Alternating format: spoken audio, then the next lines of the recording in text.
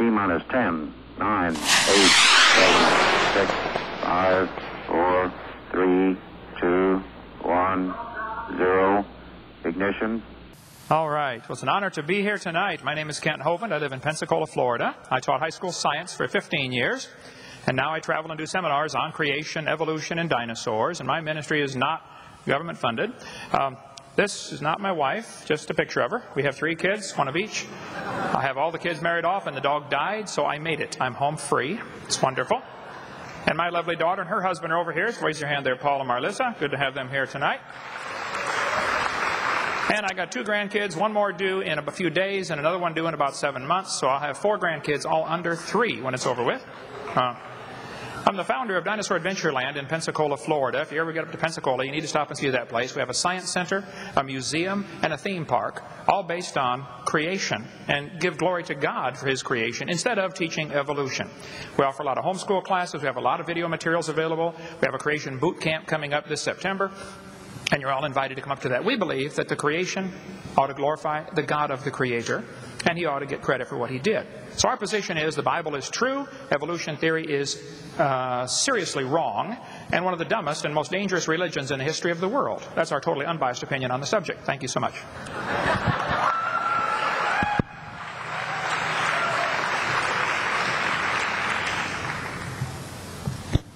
Professors? I'll start.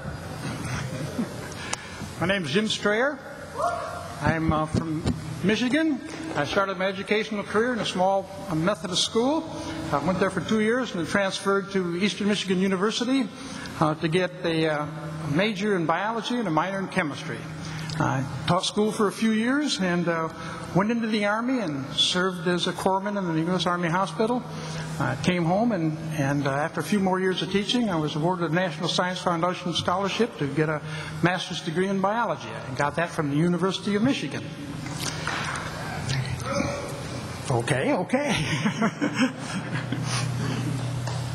Reinhold I have, I have, Are you finished? Sorry. no. Um, I have around 100 hours of uh, semester hours of, bio, of science, and, and most of that's in biology. And uh, I retired uh, a few years ago, and since then I've been keeping active by uh, giving lectures on, on, Charles Darwin and evolution and related biological subjects.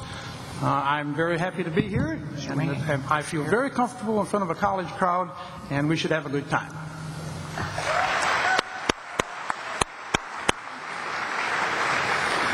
I'm Reinhold Schlieper. I teach here, and uh, that means I live around this area too. And there's no way I'm going to be able to top that introduction that we just heard. So uh, I'll just be uh, staying on the side of modesty and uh, stop right here.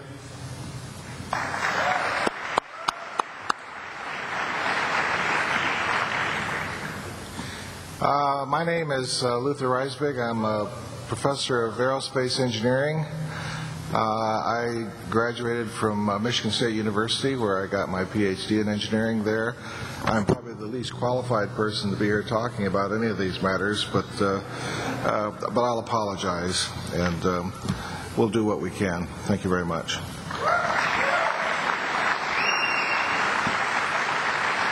Thank you very much. Dr. Hovind, you will now have 12 minutes to make an opening case.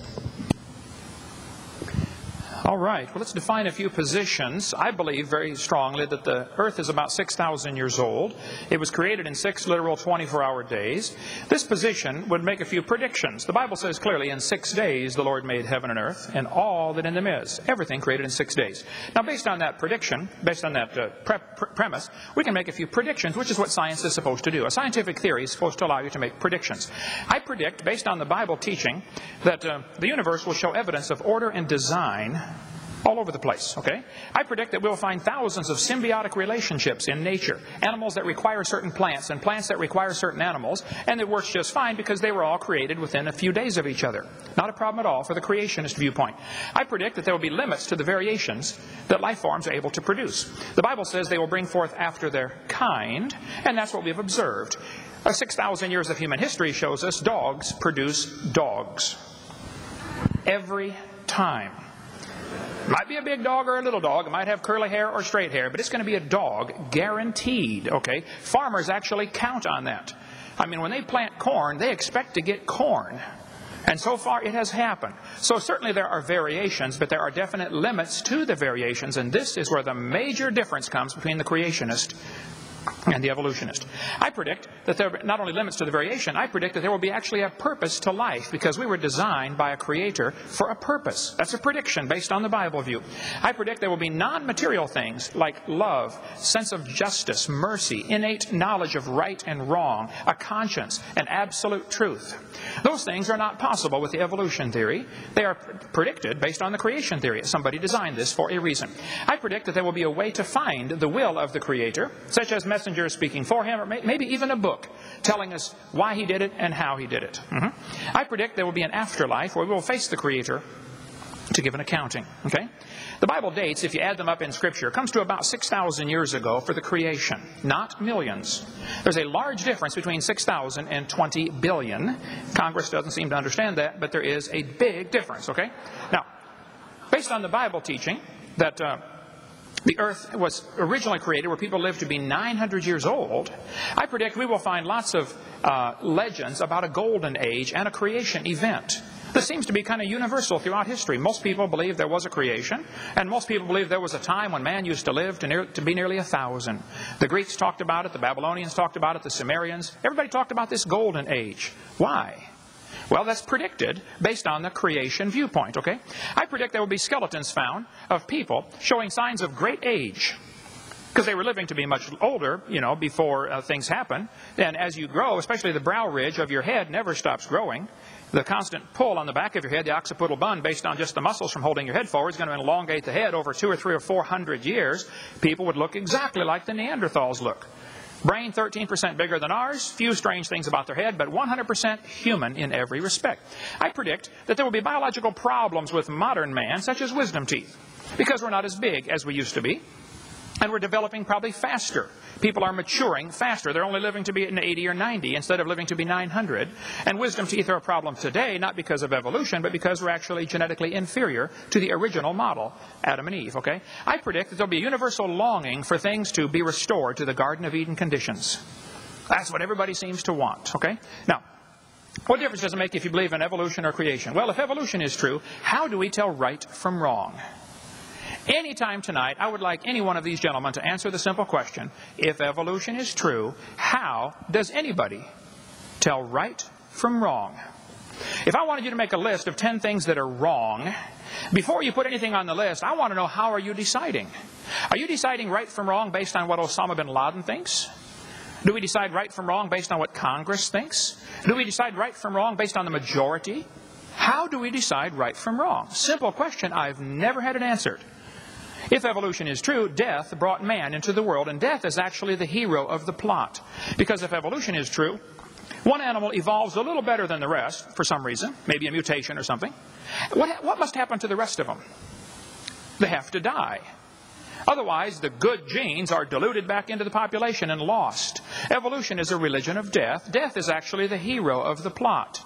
If the Bible is true, then man brought death into the world. If evolution is true, death brought man into the world. These two views cannot possibly be more opposite. Somebody is wrong. And I enjoy showing them who they are, and that's why I'm here. Okay, now. The Bible says clearly that by one man sin came into the world and death by sin. The reason we have death and suffering today is because of man's disobedience to the Creator. The Bible says by man came death. In Adam all die. We have suffering and death because of man's disobedience.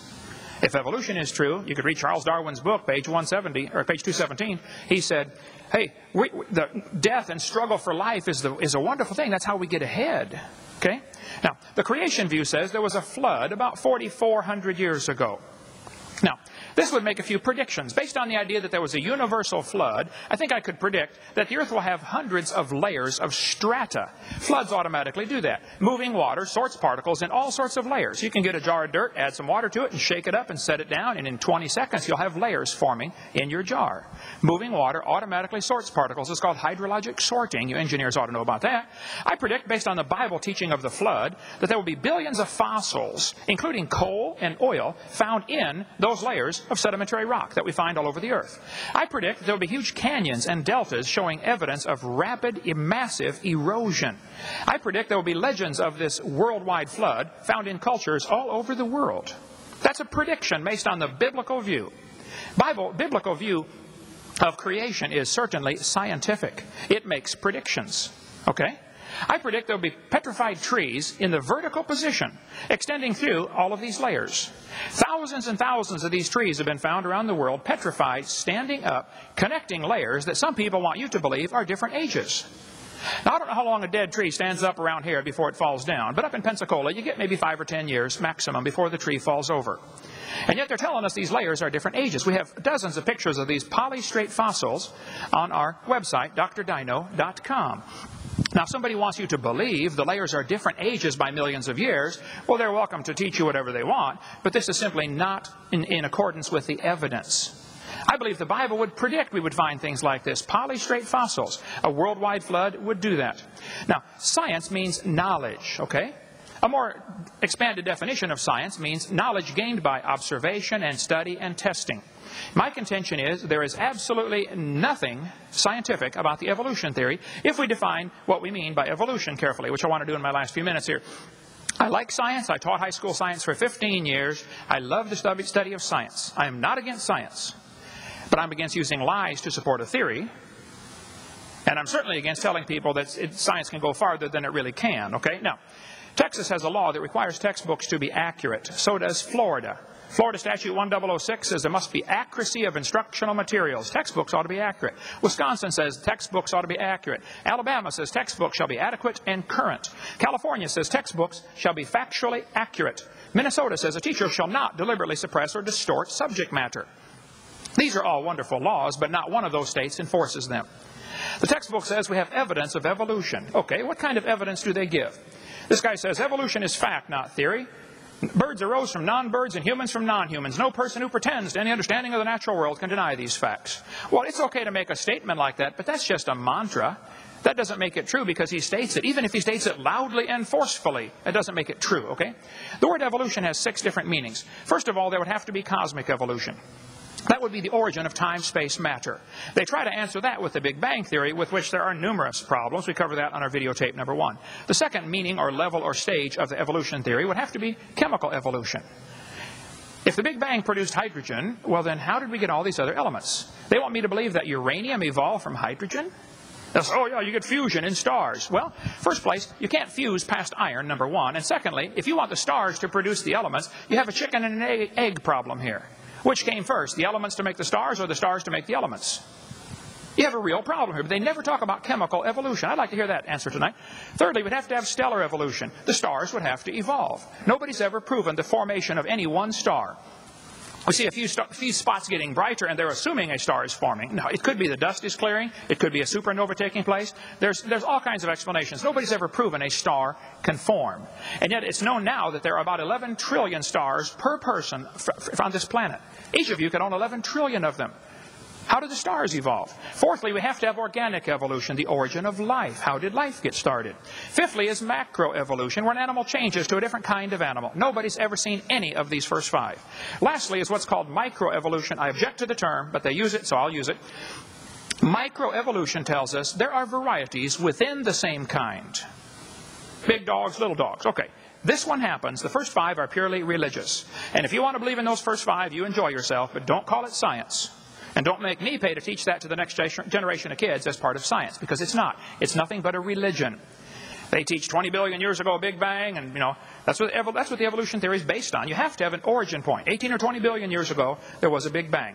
I think the evolution theory, as is currently taught in our textbooks, is totally unscientific. There's no not a shred of evidence to back it up, and I simply resent paying for it. So my position is that the evolution theory, which teaches clearly 20 billion years ago Big Bang, then it says millions of years of torrential rains created the oceans as the Earth cooled down, you know, cooled down into a rocky crust, and then oceans formed over millions of years. This textbook says swirling in the waters of the oceans is a bubbling broth of complex chemicals. Progress from a complex chemical soup to a living organism is very slow. Sure is. It don't even happen. That's how slow it is. This guy said the first self-replicating systems must have emerged in this organic soup. So according to the evolution theory, 20 billion years ago, Big Bang, 4.6 billion years ago, the Earth cooled down. It rained on the rocks for millions of years and turned them into soup, and the soup came alive three billion years ago. So great, great, great, great, great, great grandpa was soup. Okay? Now, it's true there's a lot of dogs in the world, but they didn't come from a rock 3.4 billion years ago, whatever you want to say. So, evolution is a dying religion surviving only on tax dollars. Evolution theory is positively anti science. There's not a shred of real evidence to support any of the theories except oft repeated lies. Let's define one more term in my last 30 seconds stupid. Lacking normal intelligence. Foolish. Silly. A stupid idea. Dull and boring. Evolution is not even a good theory. I think it is stupid. Thank you.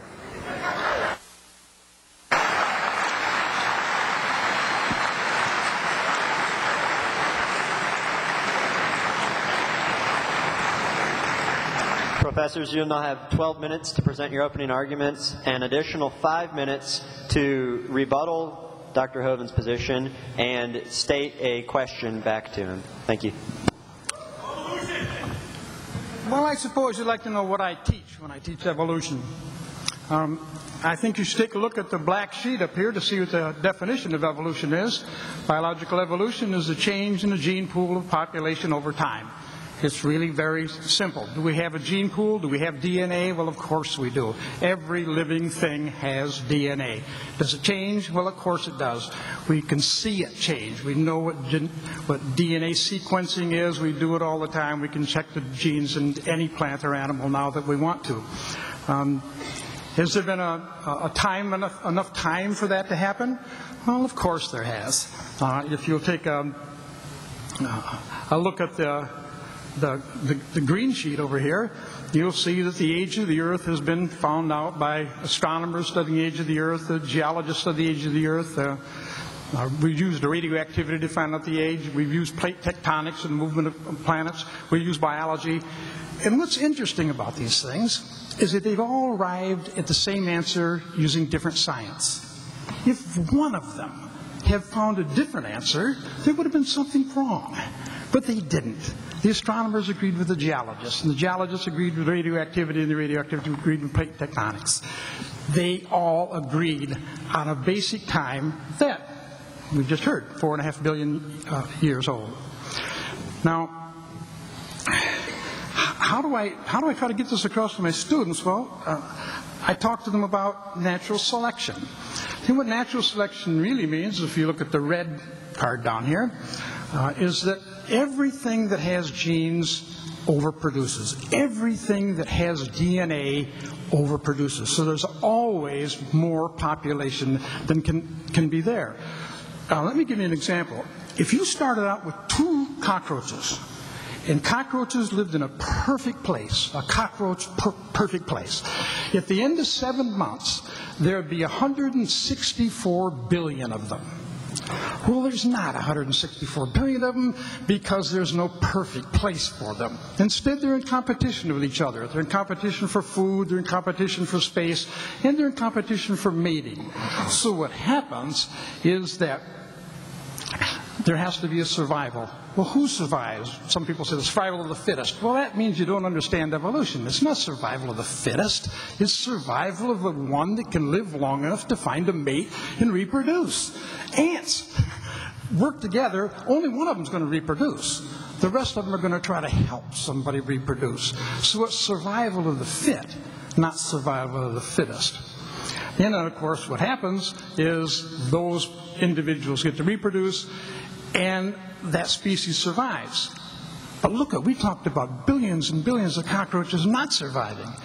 Why is that? And the answer is they had some genetic changes that weren't good. Uh, the idea is to have some tiny little changes in your DNA. Maybe it takes five or six, seven, twenty generations for it to show up even. But when it does show up, it's good. Evolution is extremely inefficient. So is photosynthesis inefficient. Biological processes are inefficient. It's just a bad design. But what happens is some of them make it, and you know, some of them don't. Um, so when I'm doing this, I, I I have to use some kind of a science. So if you look at the black sheet down here with the blue markings around it, uh, I talk about fossils, and I talk about genetics, and I talk about homology, or the structures of plants and animals, and I talk about distribution in the planet, and I talk about embryology. But what's interesting about these things is they all agree. They all approach evolution from a different point of view, and yet they agree. If we didn't have any fossils at all, none, it wouldn't matter we still have enough information to prove that evolution took place. If we didn't have any homologic structures to look at, it doesn't matter. We still have enough evolution uh, facts to show that it took place. Now, I, have a, I had a, a problem solved for me by the Supreme Court. It happens that that there have been nine cases brought by creationists to the federal courts uh, against uh, evolution. They were competing against each other in the Supreme Court.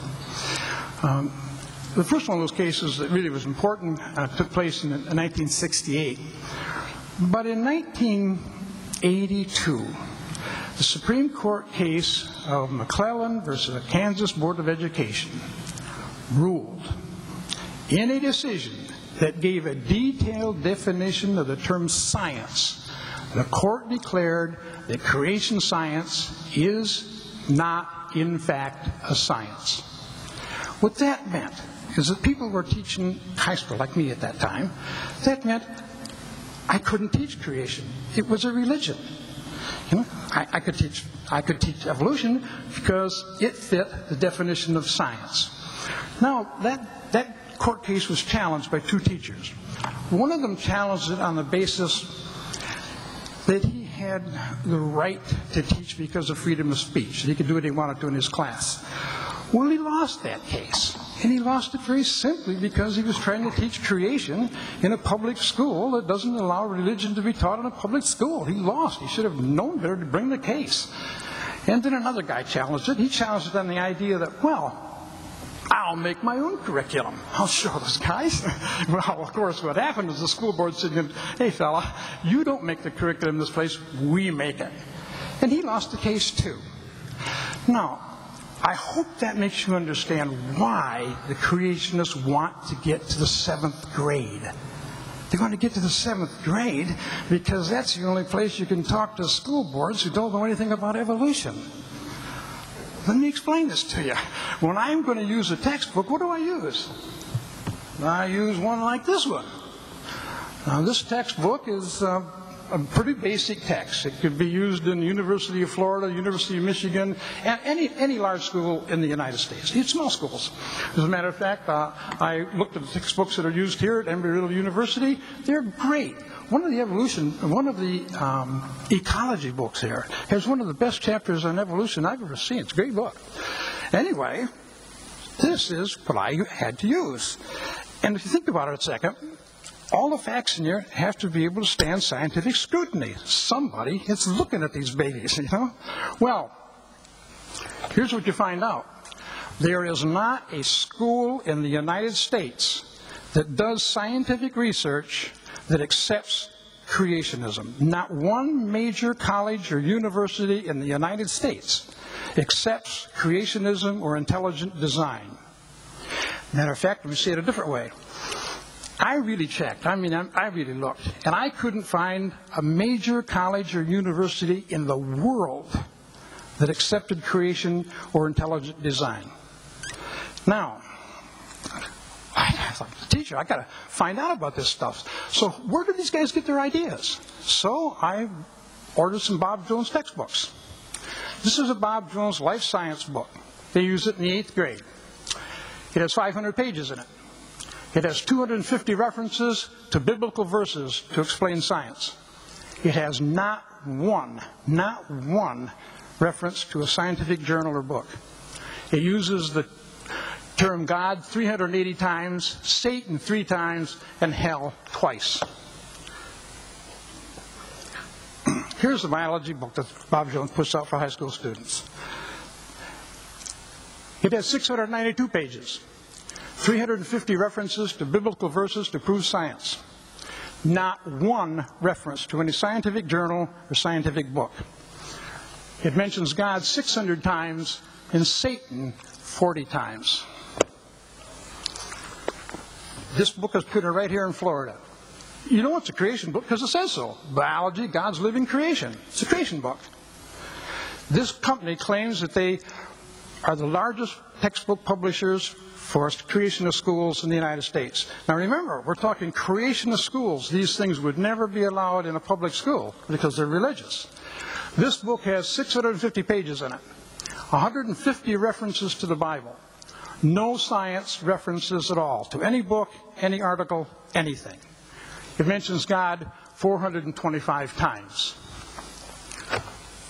Well, I'd like to ask a question. you know, when I come before a group like this, uh, and I and I and I, I want to show you that I've tried to keep up with things. I mean, I read the Scientific American, and, and I trust the Scientific American. Uh, I get a, a, book especially put out for teachers uh, called the National Center for Science Education. You know, it has a lot in about about evolution and creation. I trust that book. I, I, go to the bookstore and get, and get Discovery. I trust that too. And I trust the National Geographic. They've been at it 100 years. They know how old the Earth is. So I'm looking out at this audience. You look like a really great group. Lots of college students and lots, lots of creationists in here. I'd like to know where I stand before I go any further.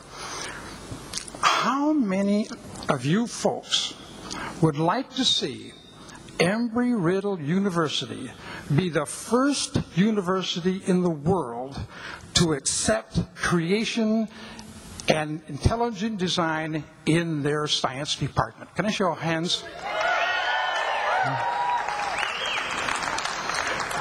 Thank you very much. That's, that's ex- exactly what I expected. You know? Um, okay. Now, I want to.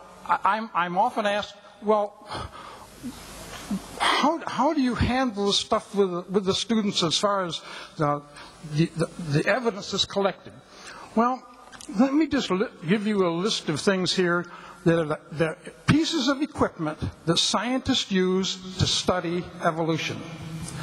Computers, ultrasound, core boring, sonar, lasers, deep sea vessels, chromatography, electron microscopes, DNA sequencing, ultraviolet light, radioactive dating, uh, television, electrophoresis, x-rays, robotics, spectroscopes, photography, and Geiger counters. Those pieces of equipment are used in chemistry, physics, geology, and evolution. We get the same results they do. There are people in here that I imagine would not want a crime to be solved because you wouldn't believe the evidence that was collected by using these methods. These are the methods that evolution uses.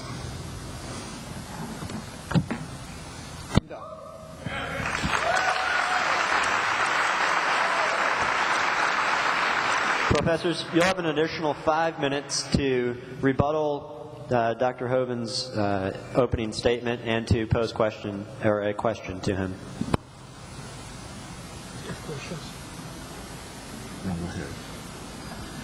Uh, I, I, am curious about uh, uh, your presentation, which was, yeah, I, I am impressed. The only one I've heard uh, uh, speak that quickly was a, a Texas auctioneer, but uh, I, I, tried really hard to concentrate and get it all. the earth was created 6,000 years ago in six days by God. I am confused. Being philosophically consistent and being a very honest person, I'm sure you can tell me where God came from. And in addition, in addition, once you've told me where God comes from, uh, please try to clarify how you can figure that a spiritual force can have an impact on a material universe to create it. I think that some years ago we already talked about that kind of thing in uh, philosophical circles, at any rate, by posing the question if angels are made of uh, spiritual matter and a pen is made of material matter, and spiritual matter displaces no space. How many angels can dance on the tip of a pen? I have a sense of sort of uh, uh, reversal experience here, but, but please do, go ahead. You've got five minutes. Now, I just want to know which question. That's all you- You may take the rest of the minutes. We're supposed to do one question at a time. Which one would you like? That was part of the format for the debate. So which, which I want you to fill in the story of the rest of the uh, beginning of the universe. God, spiritual matter, impact on material matter. Okay, so two questions. All right. Go ahead. All right, your question, where did God come from, assumes that you're thinking of the wrong, uh, obviously it displays that you're thinking of the wrong God, because the God of the Bible is not affected by time, space, or matter. If he's, if he's affected by time, space, or matter, he's not God. Time, space, and matter is what we call a continuum. All of them have to come into existence at the same instant.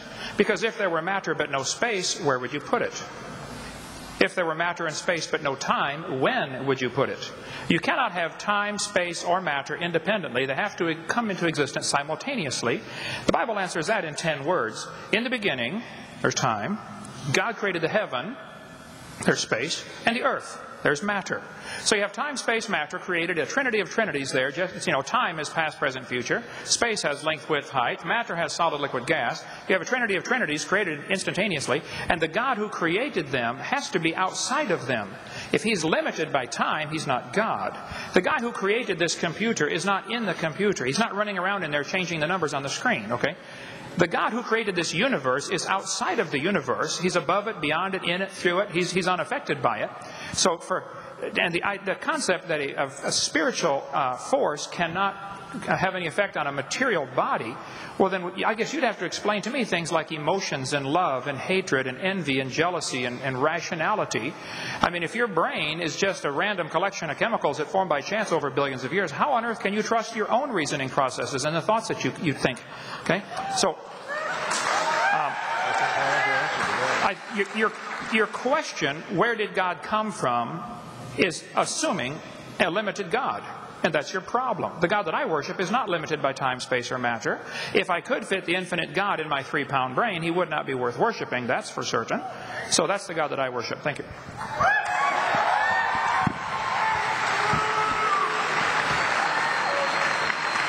Dr. Hovind, would you like to for that? Would you please present a question to the other side? I was curious about the previous uh, presentation. Uh, He said he trusted National Geographic. Just to give you one example, okay?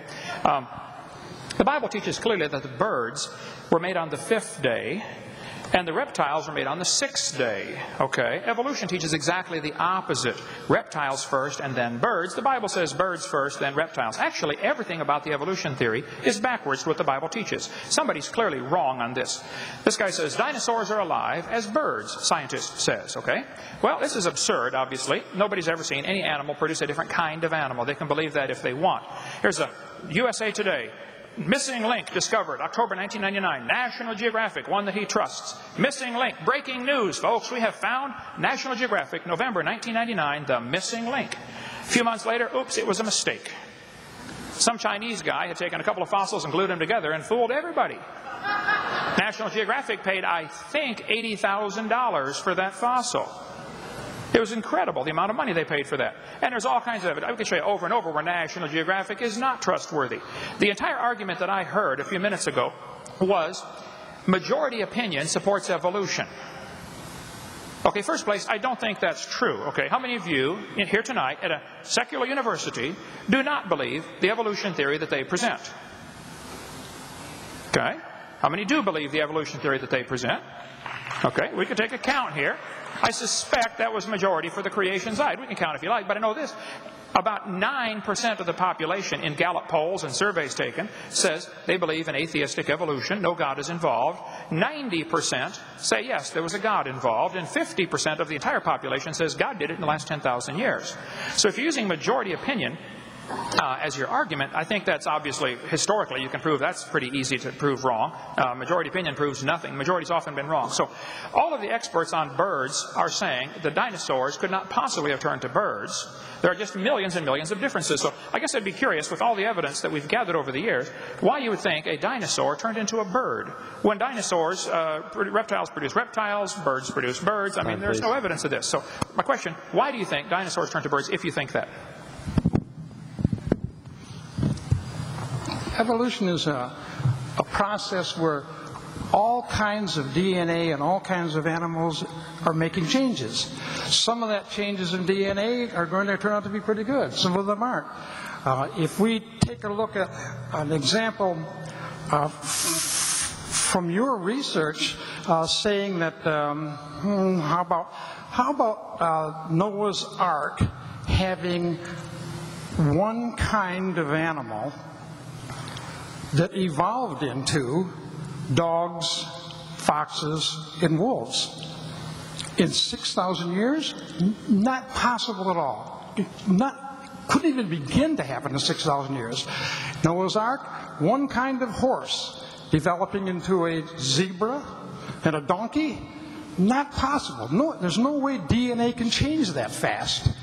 What evolutionists are saying is the, the process of DNA changing takes a long time. You see, the creationists want it both ways. They want to make fun of evolution and saying, well, why does that thing want to do that? Well, it doesn't want to do it. DNA is changing randomly. But at the same time, they want to say that you can have all kinds of animals evolved in 6,000 years just hopped off of a ship someplace that Noah's running. It's impossible. There's absolutely no way that that amount of DNA could change in 6,000 years. The only way you can solve that is by saying the usual way. It must have been a miracle. Well, in science, we don't talk about miracles. We talk about evidence. And that's what's important to us. And I kind of resent Dr. Hovind telling us this is what we believe and this is what I predict. Um, my prediction, my prediction is, is that evolution has been going on for a long time and it'll continue to go on and it'll go on in the same way it's always developed. DNA will change bit by bit, little by little, and plants and animals will change. I have a, a couple of creationist magazines at home that tell that told me in the creationist magazine that the reason that we have thorns on blackberries and roses and the reason we have a toothache is because Adam and Eve fell from grace when they sinned. I have a hard time accepting that as scientific evidence. I would rather use as my scientific evidence tracing the origin of, of thorns and, and origins of teeth back to their beginning, rather than rely, ri- relying on the fact that Adam and Eve sinned and that brought a disaster into the world. I'm done. Professors, would you like to formulate a question or uh, another statement? You do have two minutes. Do we have more time? Do we have more time? You, you will in, after five minutes, How many? uh, after Mr. Hovind goes. I, I didn't hear what he said. I, I, I, we can understand you. I'm sorry, you'll have five more minutes after Mr. Hovind has his So five what were the two minutes that you said that we had time right now? Is it on the board? One minute and 47 seconds. And we just talked about it. And who has that time right now? You do. Any, any, Any three one of you? us? Yes, sir. Oh, okay, just trying to get the I'm sorry. uh, image straight. Thank you. Uh, I, I, I do uh, uh, wonder about my earlier question. I don't feel uh, comfortable about its being uh, answered. That is, you uh, keep uh, insisting that the God of the Bible, in some way, is responsible for all this. You may, even if you were to prove that there's some kind of spiritual force, it is not necessarily the God of the Bible. So you're taking a giant leap there. So I think there's a lot of that uh, has to do with lots of faith that has to be developed in there, and I see that from our group here. And I think Mark Twain said about faith that uh, faith is believing something you know ain't true. Uh, that's that's. I, I, I don't think you can rely on faith. I. I think you need to, if you want to be honest, intellectually honest, you've got to come up with some, something a little bit more solid than just to buy in to the fact that 80% of U.S. Americans are God believers and uh, only 14% are not. so I, um, I don't know. Is, is that? Can you answer that or? Absolutely. All right, that'd be nice. What, what was the question? Phrase the question again, please. I, I didn't, you didn't really get. You made a statement. I didn't hear, hear a question there. What, what do you want to hear? Okay, my original question was for you to show uh, where the deity comes from. And uh, you keep insisting that it is the uh, God of the Bible. But uh, that is another leap of faith that uh, seems to be part of that. Can you sort of trot that out a little bit more? And uh, oh, let, let me say one thing also about the the story that you gave about the uh, National uh, Geographic, the, or or was it Scientific American, with the uh, the bird and uh, dinosaur thing. It shows that the scientific community is working. These people are in dialogue. Error may occur where reason is left free to correct it. And in your system, it's nailed down by the Bible, and no, I cannot challenge that. Uh, with the invention of all kinds of uh, strange beings, I just looked. Th- this is very much news to me. I looked at one of the books that uh, Jim has here, uh, where the assertion is that evolution is inspired by Satan. And uh, what now? We have Thank you, sir. We We're going to have to and, cut you uh, off, and you all can be right. back in five minutes. Carry on. I guess I'm still a little baffled what the question was. Uh, if your question, if you're going back to, you didn't like my answer of how God did it, God was just, uh, God is outside of time, space, matter. I think you need to stop and look at the theory that you uh, are believing in, apparently, because there are so many thousands of unanswered questions. See, it's much easier for me to believe in the beginning God than to believe, believe in the beginning dirt or matter. The evolutionist does not answer the question. There's six different types of evolution, as I shared clearly earlier. Um, if the Big Bang Theory is true, then I would like to know what exploded and where did it come from and where did the energy come from and where did the space come from for the matter to expand into and where did the organization come from and where did the information come from. There's a whole host of questions that are a whole lot harder for you to answer than in the beginning God. Where is it, where's information come from? Man is this universe is not just random molecules circulating around. I mean, it, it, it carries information. Just like a book is so much more than ink on a paper. It carries information. And the DNA is more than just chemicals, it's information. So the evolutionist never answers the question where did this information come from? Where did the energy come from? Where did the matter itself come from? And you gripe about my belief. I, I believe by faith in the beginning God. I know I, I admit I don't understand that. But you believe hundreds of things by faith. You don't even understand that you're believing by faith. You think matter is either eternal or can create itself. What's the two choices? How did matter get here? The world is here. How, where did the matter come from? Did it just happen by itself, or is it all just imaginary? We're not really here at all. You're faced with the option of, we're not really here, this is all just our imagination, or it had a beginning, or matter is eternal, which is both, both of the second two options are in violation of the obvious laws of thermodynamics. Matter doesn't create itself. And everything degrades over time. So either it had a beginning or it didn't. If it had a beginning, then what was before the beginning? I mean, there's so many thousands of things you take by faith.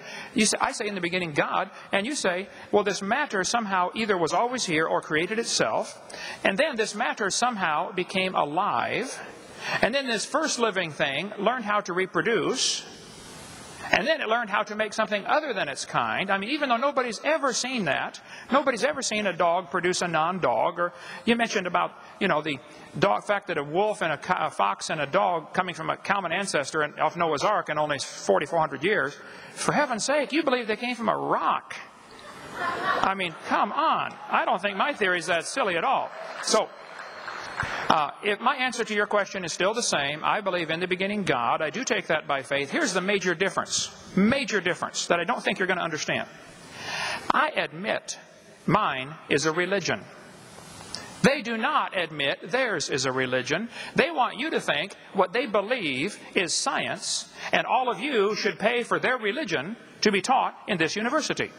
And that's the situation we have today, and that's unfortunate. There have always been situations where the majority taught something. I mean, in the Soviet Union 15 years ago, if you stood up and said, hey, kids, I don't believe in communism, I think capitalism is a better system, you would be in Siberia if you survived. And here in Emory University, if you stood up in your classroom and said, I don't believe this evolution theory is true, I think it's pretty obvious there must have been a designer to this system, you would be in intellectual Siberia. You would lose your job. It has happened to hundreds of teachers, just simply for standing up and say, look, I think the evidence is here, folks. There must have been a designer.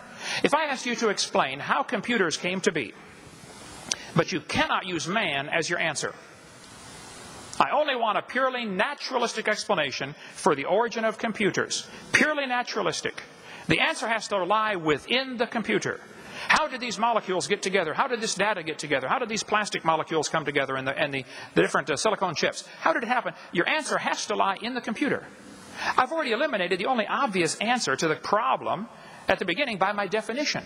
They're trying to eliminate the only answer, the only logical answer to the question by their definition of science. They want to define science as things that we can observe and test and demonstrate the natural world. Okay, well then that eliminates both evolution and creation. Both are unobserved. We don't see anything change. We don't see anything created from nothing. Here's the problem. Both creation and evolution are religious. I admit mine's a religion. They don't admit theirs is a religion. And all of us are paying for their religion to be taught in the school system. And I, for one, resent that. So my answer is still the same God did it.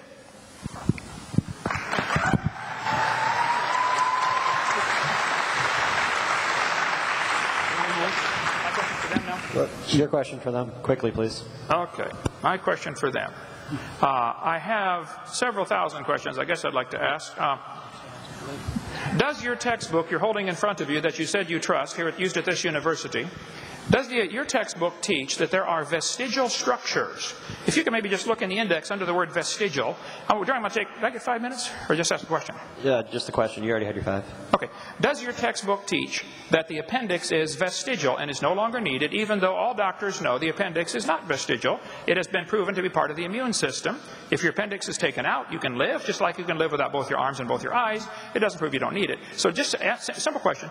Does your textbook teach the kids that there are vestigial structures and that is therefore evidence for evolution? I think you have that on one of your posters here, if I'm not mistaken. Yes, it does teach that there's vestigial structures. Professors, between It doesn't, three, it doesn't teach that there's a God, though. you have five minutes. I don't, I don't get the point. Uh, uh, that, that's the way that's the way DNA works. There are there are certain changes in the DNA molecules that will make some organs more efficient and some less efficient. That's just the way it is. You can find the vestigial structures on plants also.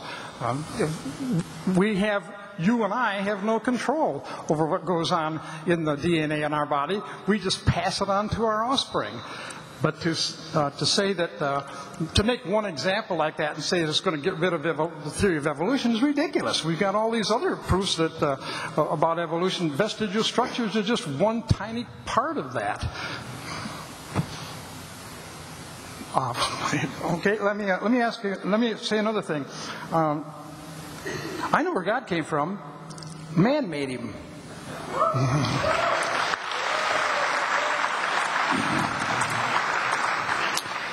I also know where your computer came from. You know, from science. It was put together by people that understood physics and chemistry. It was put together by people that understood molecules and atoms. It was put together by people with intelligence, people that knew how to love and hate and, and carry on biological relationships because they have intelligence. We got intelligence because we have brains. We've got brains because we've got DNA. It doesn't make any sense at all to say that or that people that don't have religion don't have feelings, don't follow the law. The Constitution of our country does not mention God or religion. It's a, we are a nation of laws. We're a nation of laws because we're a nation of people that have intelligence. That's the way it is. That's the way animals operate.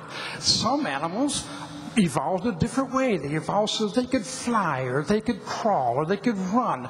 And what was successful for them worked out for them. What's successful for us is that we have a good brain.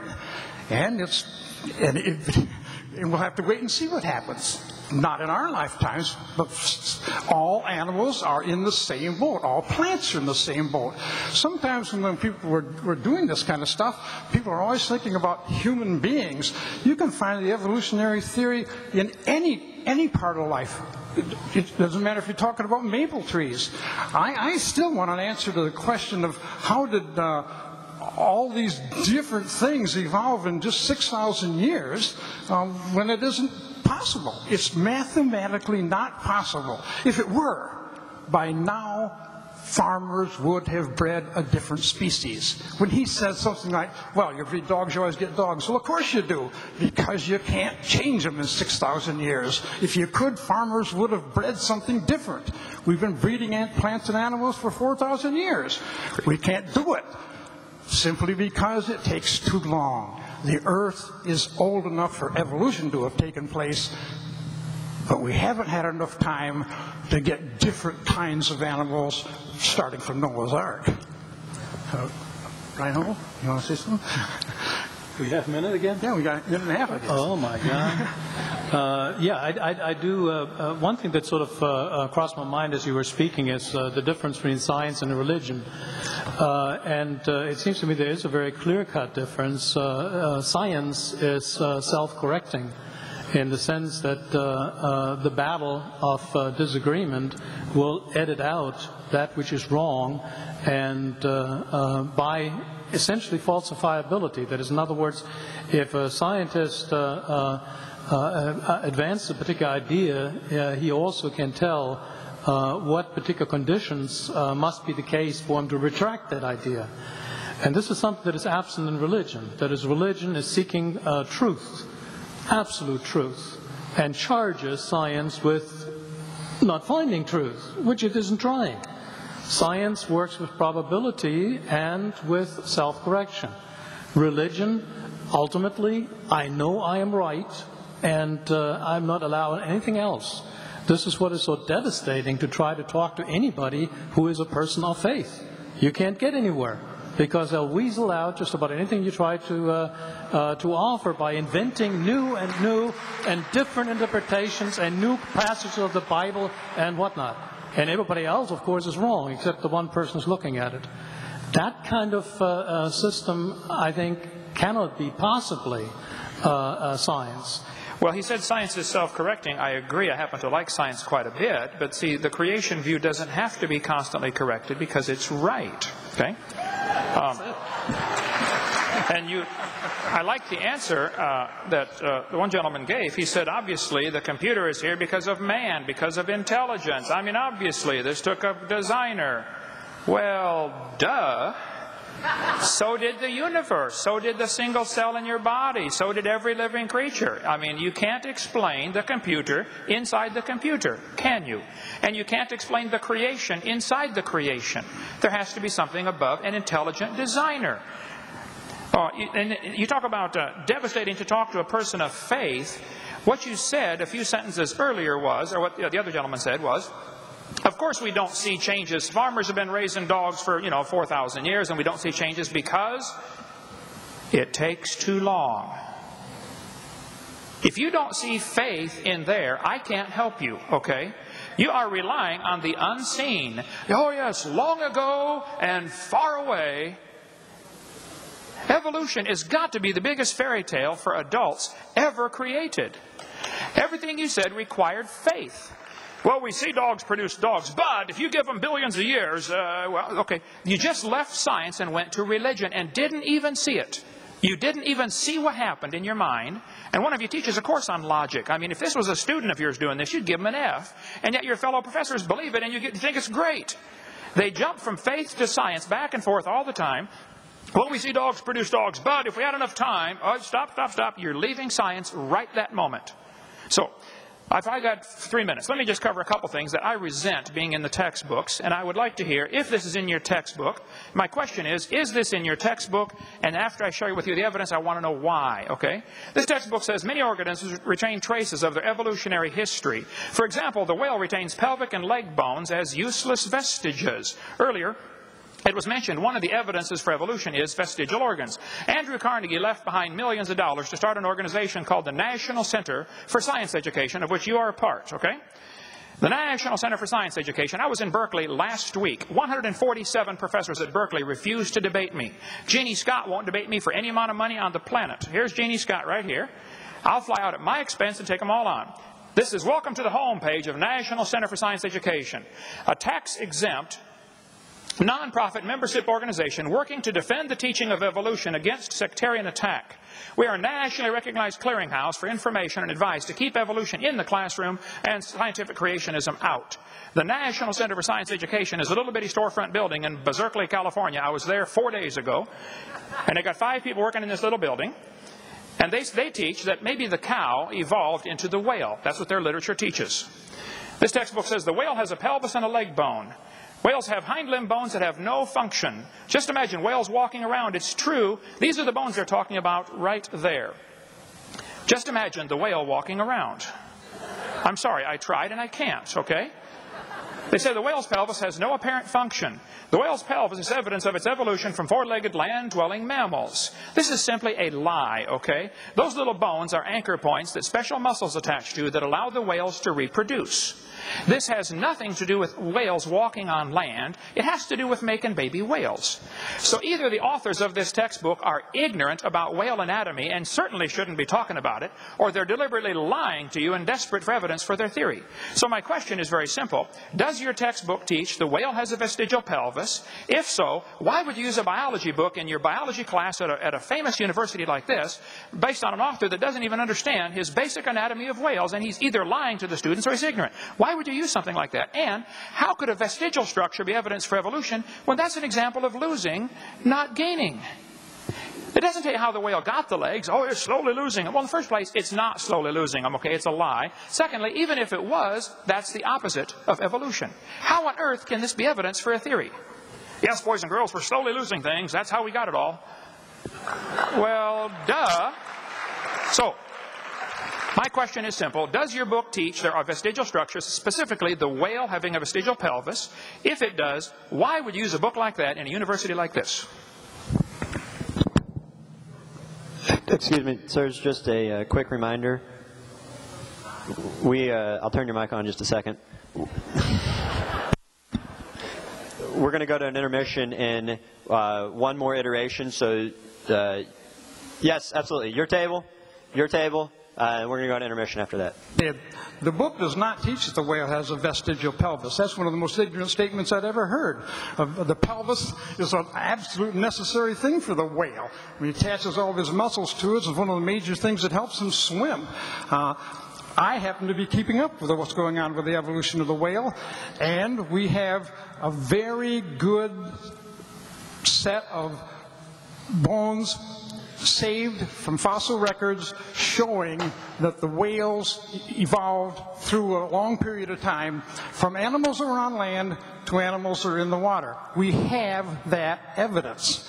And for, to say we don't have it or to say that we're lying is disingenuous to this audience. I, I ask you, don't believe, don't believe me. Let, let- let me get off the subject a second. Right up there are the things we try to do in science.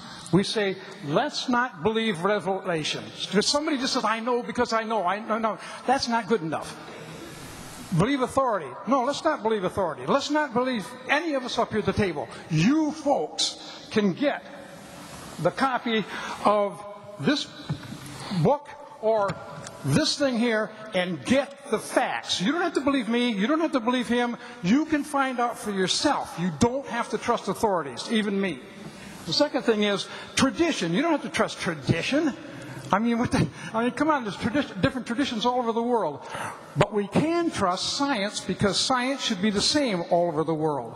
What I'm trying to say to you is when I teach my classes, evidence is what's important. I have no evidence that God exists.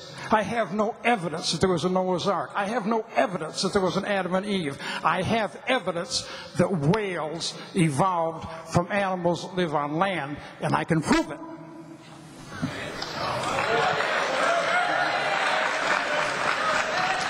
Well, we, we do have, I haven't had anything to say. Uh, there's a lot of talking going on, and that's unusual for me.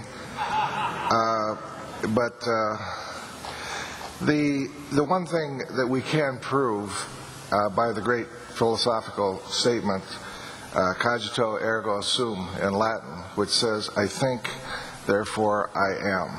Now, what that says is that I exist and prove that I am there because I can think. But it doesn't necessarily say that you exist. I can't prove that you exist, but I can prove that I exist. And I also know that I'm here. And, I'm and, and I do believe in you. There's a high probability that I do believe in you, and you are here. And somehow you got here. And somehow this happened probably in the last time between 10 and 20 billion years ago, probably to the record uh, of the Earth, which was maybe 4 to 6 billion years ago. And basically, all of this biological stuff is very interesting, and it does proved how science brings about to cause things to happen, but it's so complicated and it's so so uh, complicated that that it, you, you can you can confuse the process by misinterpreting the results. We do have, as my colleagues say, the scientific method, and it, it based on the best information that we can put together to form to what we know is true. It doesn't mean that we know the truth. It means we have maybe some probability of the truth, and that may be the best that we will always have. But to talk about start talking about chickens and dinosaurs. And i like eating chickens because chickens are descendants of dinosaurs. And every time i eat a chicken it makes me happy. Because i think a lot of them ate our ancestors a long time before that about 160 uh, million years ago. So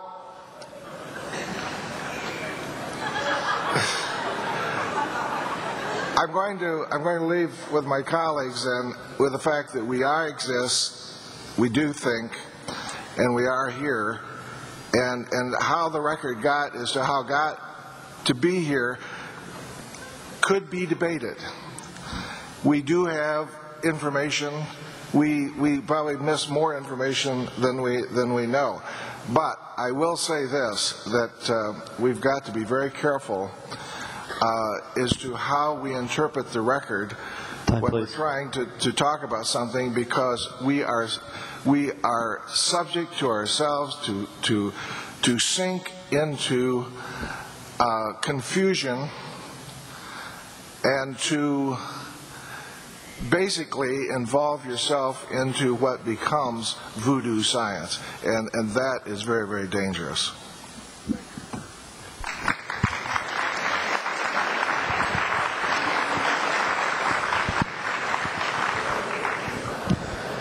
Okay. Let me cover uh, five main points here. He said we have evidence of whales evolving from land animals. In the first place, this is absolutely incorrect, okay? If he's talking about Ambulocetus, you need to study here. This was made mostly of imagination. If that's your evidence, you need to study the Ambulocetus a little better, okay? Uh, there is overwhelming evidence that Ambulocetus is just an un- unusual animal or just an animal that may be still existing someplace. There were just a few bones found and a whole lot of plaster of Paris and imagination used to put it together.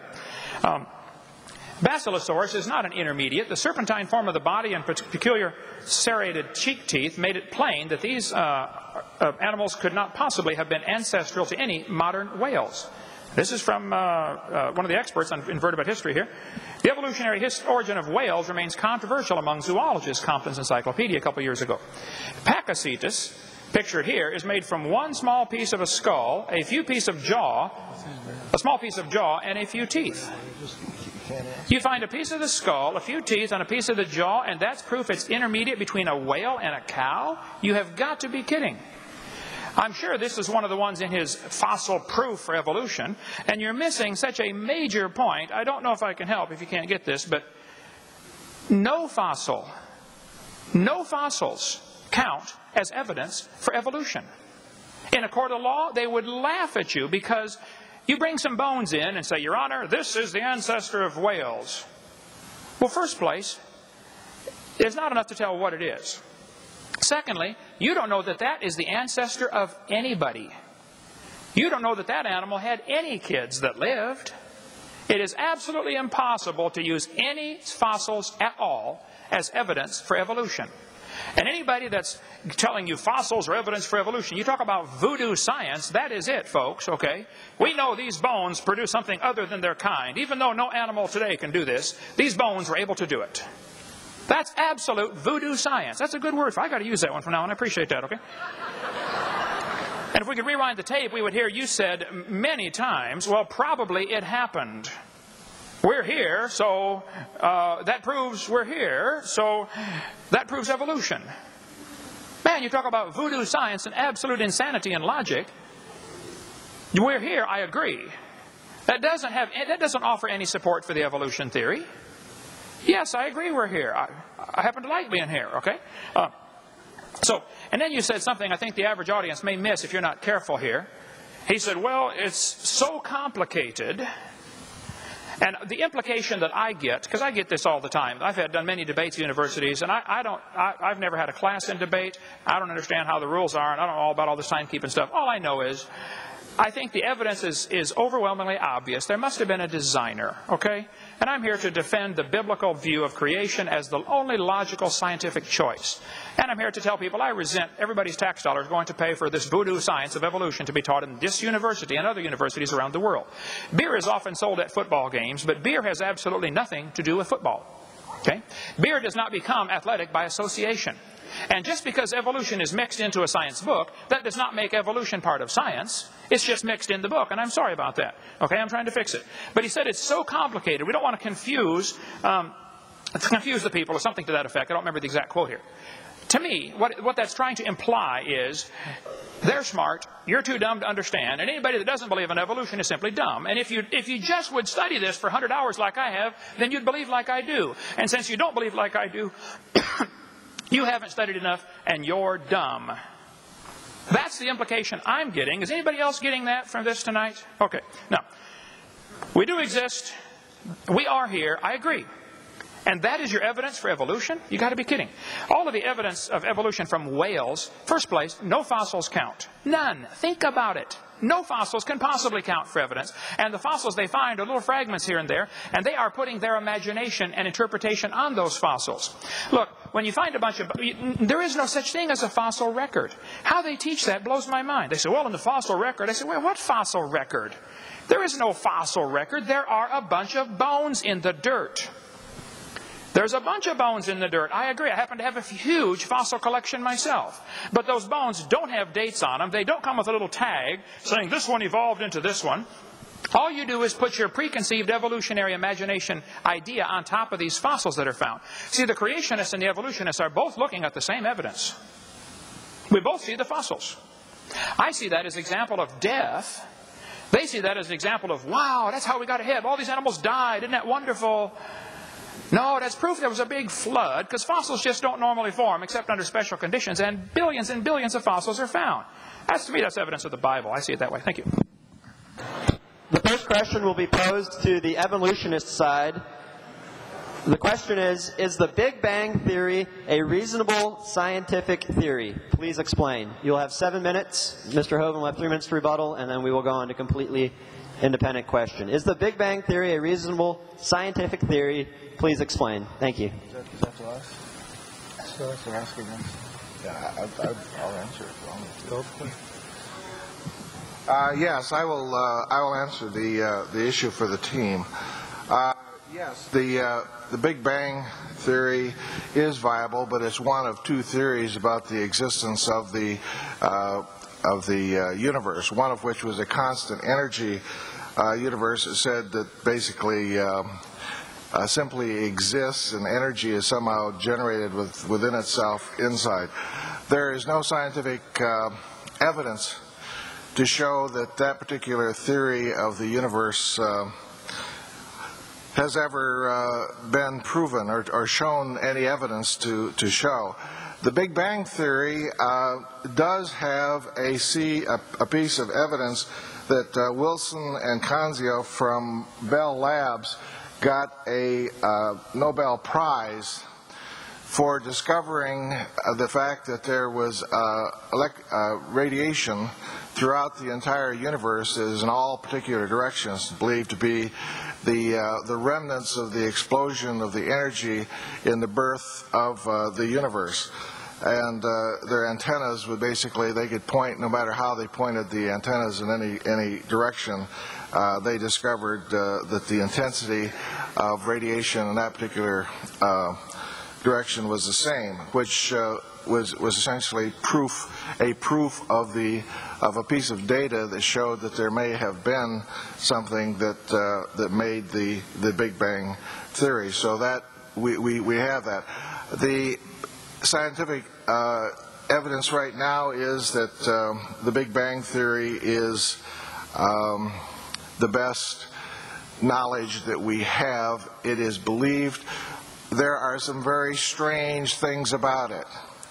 Uh, it starts essentially with there was a void. Now, the void is, it wasn't a hole or a box with nothing in it. It basically didn't even have space. it was nothing. And somehow, um, a, a black hole the size of an atom became unstable and exploded. And it filled essentially into an area the size of an atom, 10 to the 6 more mass than we currently have in the existing universe. Uh, I find having something that packed together and how close we are here, uh, and if we believe in the conservation of mass principles and things of this nature, uh, all things have to be conserved. And the conserved, the conservation has to exist either in the beginning, in the middle, and at the end. And as such, we are here and know today the information and the knowledge had to have existed at the, at the beginning of the creation uh, of the universe. Now, you can, you, can, you can place anything that you wish about how this happened or who happened or how it happened or where it come from. I don't know how a God could come outside of our universe because there's nothing outside of our universe. It's a void. There's nothing. You can't go outside of our universe. Um, but we um, uh, we do know that uh, the the 10 to the billion years ago, that, that, that from the, the beginning of 10 billion years ago, we have the universe essentially to its time to date, the cooling of energy and the formation of stars and the formation of materials and eventually forming planets. And six, four to six billion years ago, uh, we had a crust around this particular planet, and eventually some, some chemicals got together, and, and we had uh, life. And, and the rest is here, and we're here.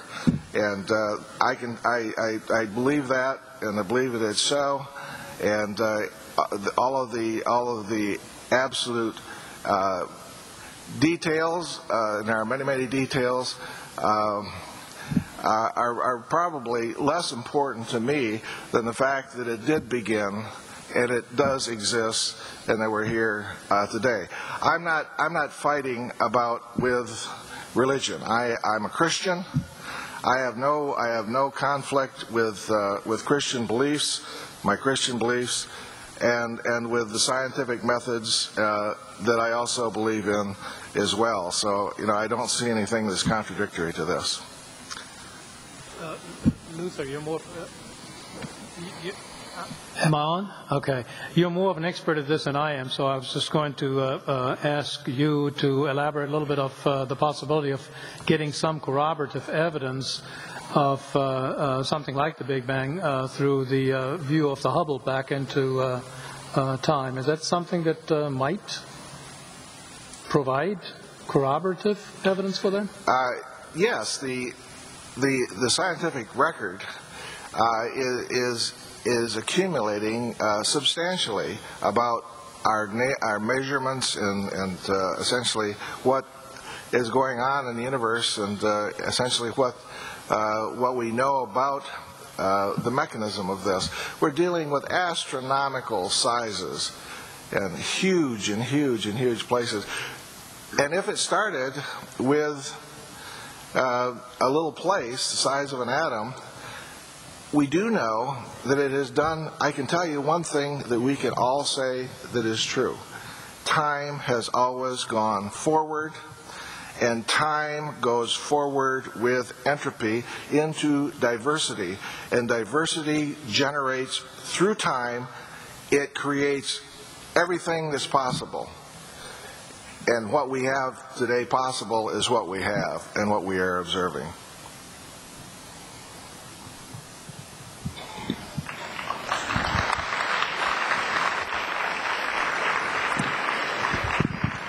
Dr. Hovind, you will now have three minutes to uh, rebuttal that statement, and then I will ask you a completely independent question. Thank you. Okay. Um, humanists regard the universe as self existing and not created based on the Big Bang Theory. Textbooks say 18 or 20 billion years ago, there was a, all the matter in the universe, which would be a lot of stuff. And by the way, the word universe means a single spoken sentence. Universe, single spoken sentence. God said.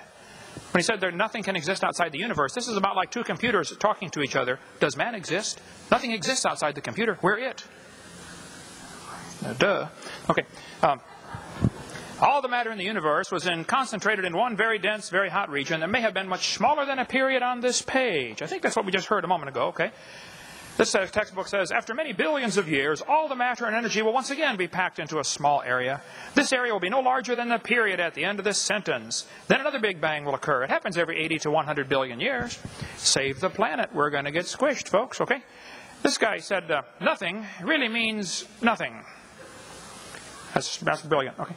Not only matter and energy would disappear, but also space and time. However, physicists theorize that from the state of nothingness, the universe began in a gigantic explosion. I believe that's what I just heard in the last few minutes, okay? This whole Big Bang idea started with a guy named George, or Isaac, uh, I mean, Edward, George Latimer, who said the thing that exploded was a few light years in diameter. Well, at the least, that's about 12 trillion miles, okay? Then by 1965, they said, well, it was only 275 million miles. 1972, I think it was Scientific American said, no, the thing that exploded, the Big Bang, came from something only 71 million miles in diameter. Later they said, oh no, it's only 54,000 miles. 1983 they said the thing that exploded was a trillionth the diameter of a proton. Now that's tiny, okay? And now they're saying nothing exploded. Here's Discover Magazine two years ago. Where did everything come from? The universe burst into something from absolutely nothing. Zero. Nada. As it got bigger, it became filled with even more stuff that came from absolutely nowhere. How is that possible? Ask Alan Guth. His theory will explain everything. Well, what does Alan Guth say? In Scientific American, Alan Guth says the observable universe could have evolved from an infinitesimal region. That's a dot. He said it's then tempting to go one step further and speculate that the entire universe evolved from literally nothing. Folks, why would a sentence like this be found in Scientific American? There's nothing scientific about that state. It exhibits incredible faith. But the textbooks teach this, this dot was spinning. It spun faster and faster. Finally, it exploded. The Big Bang. There are so many problems with the Big Bang. Simple physical science problems. What exploded? Where did the matter come from? Where did the energy come from? Where did the organization come from? Where did the information come from? Um, he, the, story he gave was so good, I got to replay the tape and hear this, you know. 4.6 billion years ago, the planet developed a rocky crust. The chemicals got together, you know, blah, blah, blah. Here we are. Exactly what I said earlier. That's what the, that's what the theory teaches. Now, if he wants to believe that, that's fine. I don't care what you believe. But don't call that science. And don't make me pay to teach that to the rest of these kids in this university. These kids came here to learn some science, not a fairy tale like that. Thank you.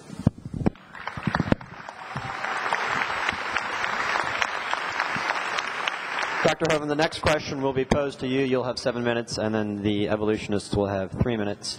Uh, the question's more of an open-end one. Uh, please prove, disprove, or generally talk about carbon dating and how it relates to evolution.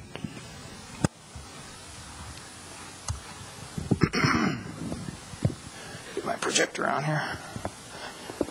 See, I have about 7,000 slides in PowerPoint, so it helps if you ask the questions in the same order that I have the answers. Uh, carbon dating? Okay. Carbon dating, uh, actually fossils are dated by their position in the geologic column. They are not dated by carbon dating or potassium, argon, rubidium, strontium, lead-208, lead-206. None of those matter. A fossil is dated by the position in the geologic column. They're called index fossils. This guy admits it. Radiometric dating would not have been feasible if the geologic column had not been erected first. The geologic column was invented in the 1830s. that was taught for 120 years and became accepted as science, and the geologic column doesn't exist any place on the planet. Okay, there is no geologic column. There are layers of rocks. And they're assuming that it's different ages. That's the problem right there. Uh, this guy says fossils have been and still are the best and most accurate method of, of, dating and correlating the rocks in which they occur. We go through all kinds of examples on this, but on video 7. The Earth's atmosphere is about 100 miles thick. It is mostly nitrogen, 78%, 21% oxygen, a little bit of CO2 for plants to breathe, and very little radioactive carbon 14. 0.0000765%. This radioactive carbon-14 mixes with oxygen and it becomes carbon dioxide, most of it does, and the plants are breathing carbon dioxide. Now, carbon-14 is formed when radiation strikes the atmosphere. The nitrogen, which is the majority gas up, up there and here, nitrogen gets bombarded by cosmic rays and it bombards the upper atmosphere, producing fast-moving neutrinos. These neutrinos collide with atmospheric nitrogen, producing carbon-14. That's how it's made. If you look at a periodic table, carbon and nitrogen are right next to each other. Nitrogen is normally an atomic weight of 14, and carbon is an atomic weight of 12. But if the nitrogen gets blasted with these neutrinos, it turns into carbon 14, which is a rare, very rare, and radioactive element. It is radioactive just like uranium or any other radioactive element, and you can hear it as it decays or breaks apart and throws off all the little particles into, the, into space around it. Now, carbon 14 is being produced by the sun, or by the neutrinos, by the high-speed radiation, doesn't matter. It breaks back down to nitrogen. About half of it breaks down every 5,730 years. Okay, this is estimated to be the half-life. Obviously, nobody watched it for 5,700 years. But during photosynthesis, plants are breathing in CO2. And so the animals eat the plants and make it part of their body. So you and I probably have carbon 14 in us because at some time in your life you have either eaten plants or you've eaten animals that have eaten plants. That's about all there is, okay? So these plants are absorbing things uh, out of the atmosphere. They're absorbing the carbon 14. It becomes part of their tissue.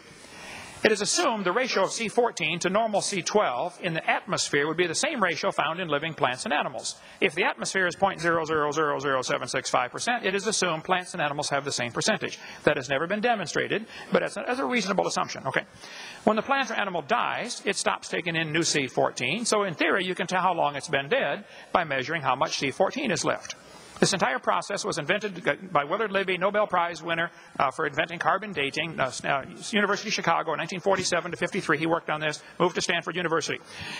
Carbon 14 continues to decay after the animal dies. If half of it's gone, you would assume it's been dead 5,700 years. It can't get any more, obviously, so it's going to go out of balance. Carbon dating is actually a comparison of the carbon-14 in the object with the carbon-14 in the atmosphere. It's a ratio, okay? If it's 0.000765, it is still alive. If it's only 0.00038825, it's 5,700 years old, etc., etc. The less it has, the older it is. This is how the theory works. It goes from a half to a fourth to an eighth to a sixteenth to not much, okay? They compare the amount of C14 in the object being dated with the amount in the atmosphere to estimate how long it's been dead. If only half of it has been, if it's only got half as much, it's assumed it died 5,730 years ago. Sounds good, but there are some assumptions that mess up everything. If I told you to fill a barrel with water, but there were holes in the barrel, as you're putting water in, it's leaking out. It's kind of like a check checkbook, you know. You keep putting the money in, it keeps leaking out different places. But at some point, you're going to reach a stage called equilibrium. You'll never fill the barrel past that point unless you speed up the intake or cut down the outgo. The Earth's atmosphere is going to have the same problem. If you took a brand new planet Earth, created it, poof, and stuck it out going around the sun, 93 million miles away, it would start developing C14 from radiation and start losing it to decay. So the question is, they, they wondered this back in 1950, how long would it take Earth's atmosphere to reach equilibrium? The consensus was it would probably take about 30,000 years for the Earth to reach equilibrium. And then Willard Libby and the boys at the University of Chicago made a tragic mistake. They made two fundamentally, fatally flawed assumptions. They said, well, we know the Earth is millions of years old, mistake number one, so we can ignore the equilibrium problem. They ignored it. Problem is, radiocarbon is still forming 28 to 37 percent faster than it's decaying, with carbon 14 is proof the Earth is less than 30,000 years old or else it would all be stabilized by now. It would be stable in the atmosphere, and it's not, okay? We could talk all day about that. But basically, if an animal is still alive, it should give you about 16 clicks on your Geiger counter. If it's only giving you 8, you're going to say it's 5,700 years old. If it's only giving you 4, it's 11,000 years old, et cetera, et cetera. This is how carbon dating is done. I won't have time to cover all of the uh, evidences I have, but I'll just give you a few examples of how it simply doesn't work because one good experiment is worth a pound of theory any day. Back in 1949, when they developed it, the lower leg of a mammoth dated 15,000 years old, but the skin dated 21,000 years old. Same animal. It's not working in 1949. 1963, living mollusk shells dated 2,300 years old. It's still not working, folks. 1970, at the proceedings of the 12th Nobel Symposium, they said if a carbon date supports our theories, we put it in the main text. If it does not entirely contradict them, we put it in a footnote. If it's completely out of date, we just drop it. Freshly killed seal, carbon dated 1,300 years old. One part of a mammoth is 40,000 years old, another part's 26,000 from the same animal. Now, we could talk all day about carbon dating, but here's living snails, carbon dated 27,000 years old, 1984, Science Magazine. Uh, I don't have time to cover them all, but watch my video number 7, which is why it's out there. 1992, Two Colorado Creek mammoths in Alaska found side by side. One dated 22,000 years old, the other one was 16,000 years old. They're side by side. 1996 at Berkeley University, they used the most advanced dating techniques they have. They discovered these things that they thought were quarter million years old actually were 53,000 to 27,000. I'd like, I'd like to point out, Your Honor, that is still a 96% error. If you think carbon dating proves the age of anything, you need your head examined. Thank you.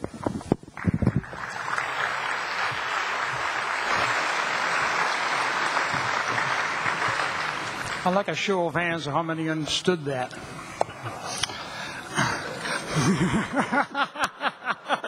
I guess we aren't the only liars here. Uh,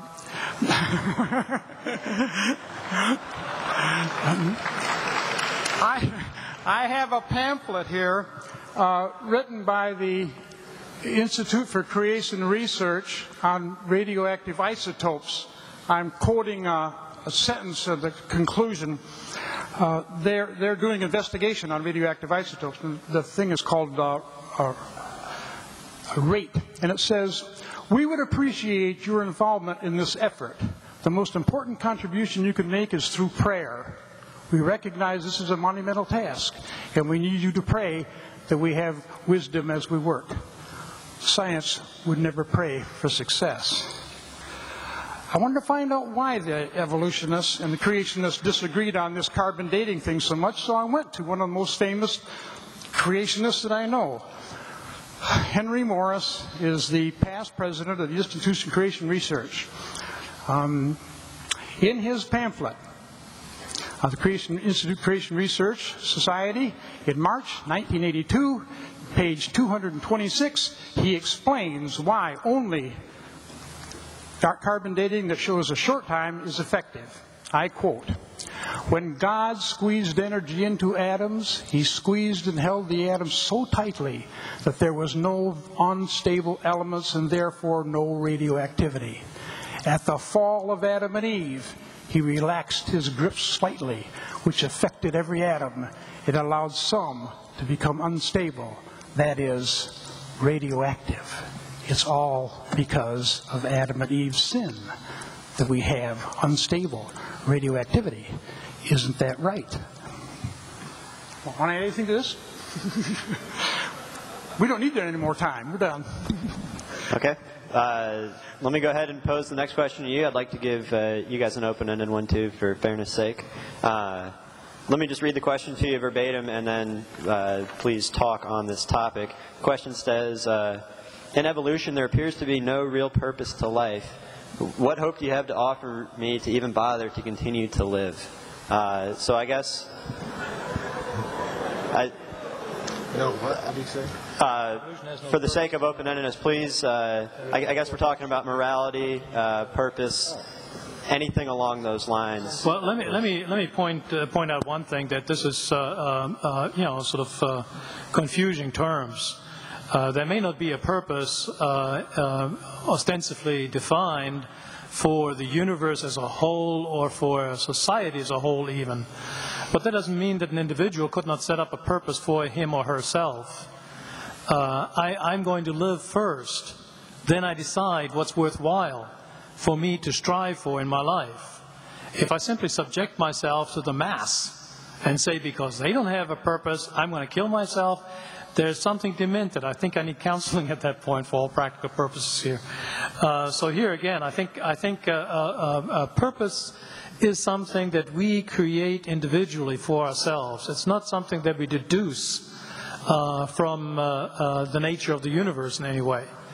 I'm sure that everyone here has some kind of a purpose uh, in their existence, defined by themselves, defined where they're going to go. So that, that would be my take on that. And, did you want to? Sure. Look at DNA changes, and it changes so that animals and plants survive. If the DNA changes in a brain of an animal, to make that animal breed successfully by taking care of its young, taking care of its brothers and sisters, and taking care of its family, that animal may survive. If, on the other hand, the DNA goes in a different direction, then the animal learns to swim or, or fly, that, can, that animal can survive. Certain animals have more emotions than others. We can measure the emotions in dogs. Anybody, here own a dog that doesn't have any emotions? you know, my two dogs have all kinds of emotions. I can tell when they're guilty, and I can tell, you know, when they're happy, and I can tell when they're sad. It's and it's good for them. They have the DNA in their brains that gave them the ability to be pack animals. And they survived because of it.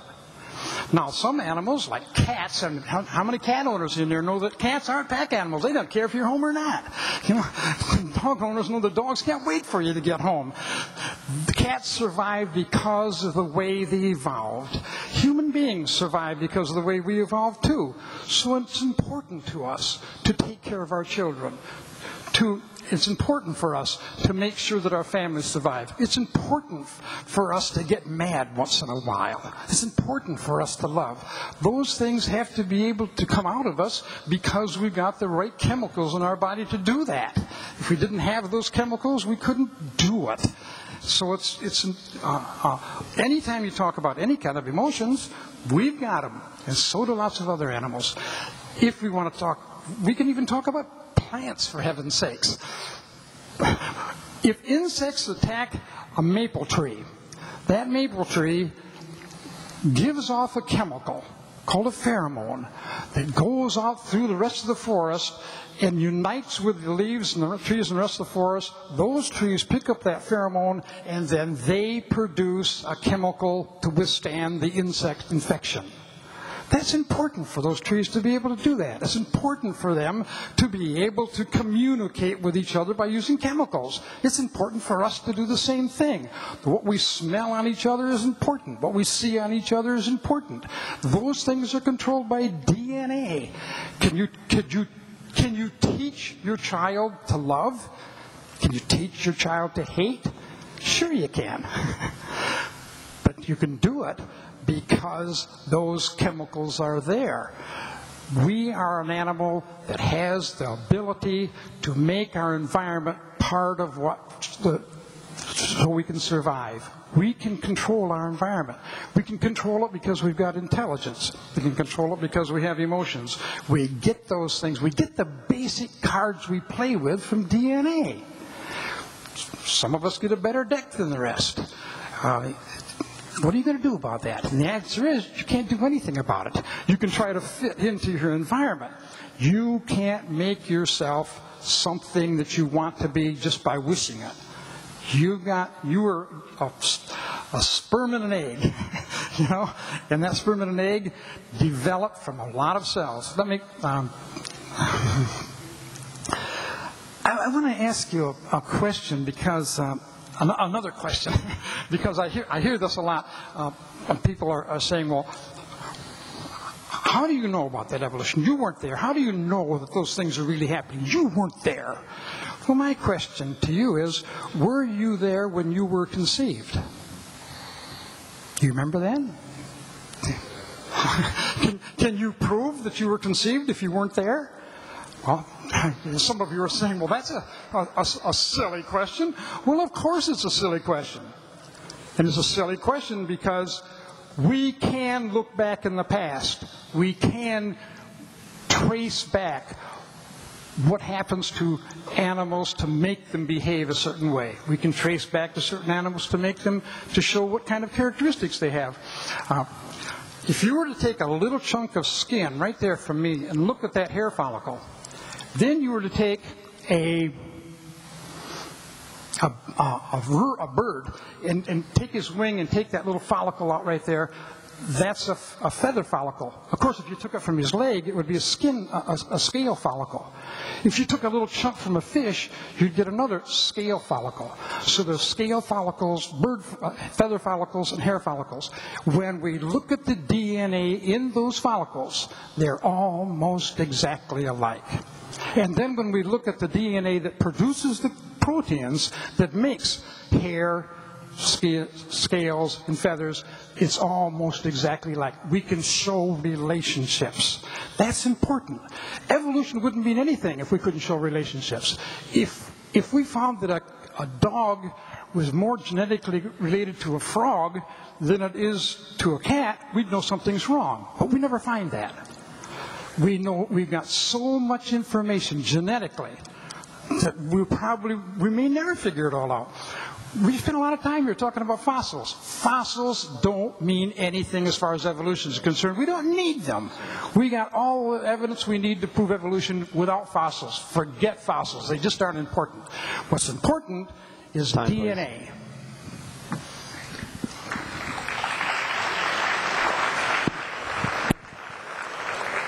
All right. Um, the question was, uh, what's the purpose of life? Okay.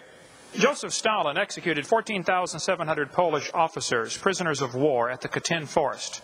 Why did he do that? How would he execute prisoners of war? Adolf Hitler executed at least 6 million Jews, plus millions of others. Why would a person kill Jews? Well, Hitler thought they were an inferior species. that hadn't evolved as far. He was actually trying to speed up the evolution process. 1975 to 79, the Khmer Rouge, under the leadership of Pol Pot, executed more than one third of their entire population. Check out the killing fields. Why did they do that? Why were the Australian Aborigines treated like they were animals? Why were Australian Aboriginal skulls dug up out of graves, or people were executed and their skulls were boiled down and they're sold to museums in America to have displays for evolution because they have a bigger jaw than other humans do? Kip Kinkel said, If there was a God, he wouldn't let me feel the way I do. There is no God, only hate. Huh. Well, on May 1st, May 21st, 1998, 15-year-old Kip Kinkel, a student at Thurston High School in Oregon, entered the cafeteria, fired more than 50 rounds from a semi-automatic rifle. 26 students were injured, two were killed. Later, the bodies of his parents were found in his home. He was taken, he was arrested, taken to a police headquarters where he attempted to murder a detective. He said, if there was a God, he wouldn't let me feel the way I do. There's no God, only hate. Why have violent crimes increased nearly a thousand percent since I was a boy? And that's the time evolution became a popular theory in our textbook. Dylan Klebold and Eric Harris uh, made a video prior to the Columbine shootings. They're talking about a football player. They said he doesn't deserve the jaw evolution gave him. Look for his jaw. It won't be on his body. Klebold's father was a geologist who believed in evolution. Both Eric and Dylan were followers of Nazi teachings. The shooting took place on Hitler's birthday on purpose. It, it was planned to commemorate Hitler. Eric's t-shirt said natural selection. They killed Cassie and Rachel just because they were Christians. They killed Isaiah just because he was black. Hitler hated black people. After all, they hadn't evolved as far. That was Hitler's thinking. The clothes may give a clue to the thinking of these teenagers. It said natural selection. Yes. What about this natural selection? Well, natural selection selects. It doesn't create a thing. It selects. That's all it can do. It's not, a, it's not a creation process. We go into that some other time. So, my answer to the question is Is there a purpose to life? Absolutely, there certainly is. God created this universe with a plan. He created man with a purpose. Now, I have found in my doing, speaking on this topic about 800 times a year all over the world and 15 years worth now, the reason people accept the evolution theory is not because they have a scientific reason. I asked a kid two weeks ago, I was debating uh, two professors, or uh, I forget where I was, it doesn't matter, three weeks ago. One kid came afterwards and said, evolution's a fact. I said, well, stand, calm down, calm down, let me ask you a question. If evolution, if, if creation was true, if the creation story is true, would that affect your lifestyle any? If there was a creator that said, Thou shalt not commit adultery, don't no pornography, no lying, no cheating, no stealing, would that affect your lifestyle any? He said, You're trying to embarrass me, aren't you? I said, I don't even know who you are. I'm just asking you a question. The reason people accept evolution is because of their sin, not their science.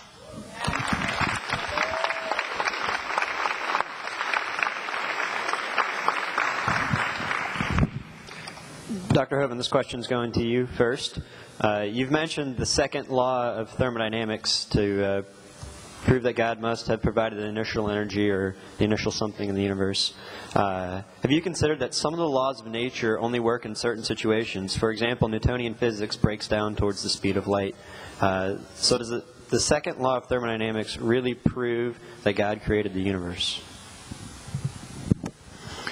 Uh, there are several ways to define the second law of thermodynamics. There's all kinds. Uh, um, let me try to get. Well, it'll take me a minute, but basically, all, they all boil down to the same thing. Matter, everything tends toward disorder. Okay, things don't order. That doesn't prove God created the universe, and it certainly doesn't prove the biblical view. Okay, and it doesn't prove everybody ought to become an independent, temperamental, fundamental, right-wing, radical, chicken-eating Baptist like me. However, if you keep studying, you will get there. Okay. Uh, I think the second law of thermodynamics demonstrates there must have been a beginning. Since everything is winding down, everything is falling apart, there had to be a beginning. There had to be something that wound it up. So yes, I think the second law of thermodynamics is proof positive that there was a beginning. Even the evolutionists will admit that. Oh yeah, 20 billion years ago. Uh, what was before that? Was there any time or space before there was matter? And where did this matter come from? They have a totally illogical theory. Uh, yes, I think that it's logical to say in the beginning God instead of in the beginning, you know, nothing, or in the beginning dirt, or in the beginning matter, you know. They worship matter like the Christian worships God. There's no difference. They're both religious. I think ours is more logical and scientifically defensible, but they're both ultimately, in the, in the final analysis, are simply religious theories. Um, so, the second law of thermodynamics, which is, as far as anybody knows, universally believed, uh, as far as Newton's laws breaking down at, as you approach the speed of light, there's a lot of theories about that. There's also theories, there's an article in Discover magazine uh, last year, April of 2003, that says Einstein was simply wrong, folks, okay? There's a large article in there. The speed of light is not a constant. So I don't think it's correct to say that we know for sure that these laws break down as we approach the speed of light. It may be true. I don't know. I don't think anybody knows would be my point. Uh, I cover quite a bit about the speed of light and evidences of it uh, ev in the last 10 years, proofs actually, scientific experiments that say the speed of light is not a constant. I'll get you some of those here. Um, if I can get, oh, no, sorry about that. See, I told you about asking the questions in the right order, didn't I? Remember that? Uh, be a lot faster. Um, the second law of thermodynamics says everything's falling apart. There's lots of stars out there. I mean, like billions and billions of stars. We don't have a clue how any one of them could form by chance. And yet, obviously, they're here. So, the second law of thermodynamics, the Christian would predict that God created a universe and we'll see things falling apart. The universe is, is winding down, okay? It's not getting better and stars are blowing up. It's called a nova or a supernova if it's a big one. So yeah, we're losing things, and eventually the universe will experience what's called a heat death. Everything will be uniformly cold. And right now they look out in space and see this 3 degree Kelvin, you know, uh, minus 270 uh, centigrade or minus 450 2.7, whatever it is, Fahrenheit. You know, it's universal temperature out there. It seems to be the same everywhere. And it seems to be this background noise, this radiation. Okay, that appears to be true. what does it prove? Oh, that proves the Big Bang. Oh, it doesn't prove the Big Bang. Not, it doesn't prove the Big Bang at all. Nobody's for sure what's causing that. We are seeing uh, stars appear to be drifting away, like the red shift, okay? There's not much question there's a red shift. The assumption is that maybe it's caused by the Doppler effect, but actually nobody knows what's causing the red shift. It, even if it's true that it is stars drifting away or moving away, that would still beg the question of where did the energy come from to propel this thing? Where did the star itself come from? And I don't think we can prove positively that the, the redshift is proof of either great distances or that the universe is, that stars are moving away. They give the same thing with parallel motion or perpendicular motion to your line of sight. This guy said there was an early sign that redshifts indicate distance of galaxies. For quasars, however, the diagram shows a wide scatter in apparent brightness at every redshift. In fact, there is little correlation of brightness to redshift at all. Either quasars come in an extremely wide range of intrinsic luminosities, as most people believe, or their redshifts do not indicate distance. Hmm, Sky and Telescope magazine 10 years ago. Thus, for us, the only conclusion can be that can be drawn is that at least some quasars are relatively nearby, and a large fraction of their redshift is due to something other than expansion of the universe. Some people think redshift is for the Doppler effect from stars leaving. Maybe so. If it is, that's still an example of the second law. We see things get old, they die, they fall apart. And if their, if their philosophy of life is you're only here to pass on your genes, that's the only reason you exist, eat, drink, and be merry, tomorrow we die, that's a pretty pessimistic worldview. I think there's a much better view than that. You were created in God's image with a purpose. It's true everything's falling apart. The heavens wax old. I, am getting old. Everything's falling apart. My car's falling apart. Everything falls apart. How did it get wound up? Where did the initial organization, energy, uh, and intelligence come from? Information is consistently being lost. Every time your DNA replicates, the little pieces break off, and you, you know, it's like split ends on a hair. And you eventually, you can only replicate it so many times, and it, it quits replicating, and you die. You know, if we are a copy off of a copy, off of a copy, off of a copy, off of a copy, off of a copy, off of a copy, off of a copy of Adam, it's amazing we can even stand here and talk about it. Okay? The information must have been incredible in the original because it's been degrading ever since. That's the second law of thermodynamics. Everything is degrading. This building is degrading. If you don't have people constantly maintain this building, it will fall apart. The entire highway system in America will fall completely apart if we don't keep maintaining it. Every building on this planet will fall down into a pile of rubble if somebody doesn't keep fixing it. And even then, if they try desperately to keep fixing it, at some point it's still going to fall down. It's inevitable. That's the second law. So if you think that evolution can overcome that second law, I would like to understand how. Okay. The second law tells us everything's falling apart, therefore, obviously, there must have been a beginning. I can answer that in 10 words. In the beginning, God created the heaven and the earth. That's a logical answer for me. You can have the rest of my time. All right.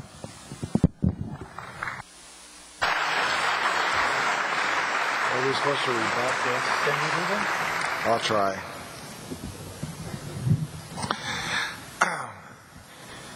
That's a mouthful, um, to say the, the least. First of all, the, the laws of thermodynamics uh, are commonly called the laws of thermodynamics. People like to talk about the second law. Albert Einstein has said that the laws of thermodynamics are the only laws that will stand and never be overthrown forever.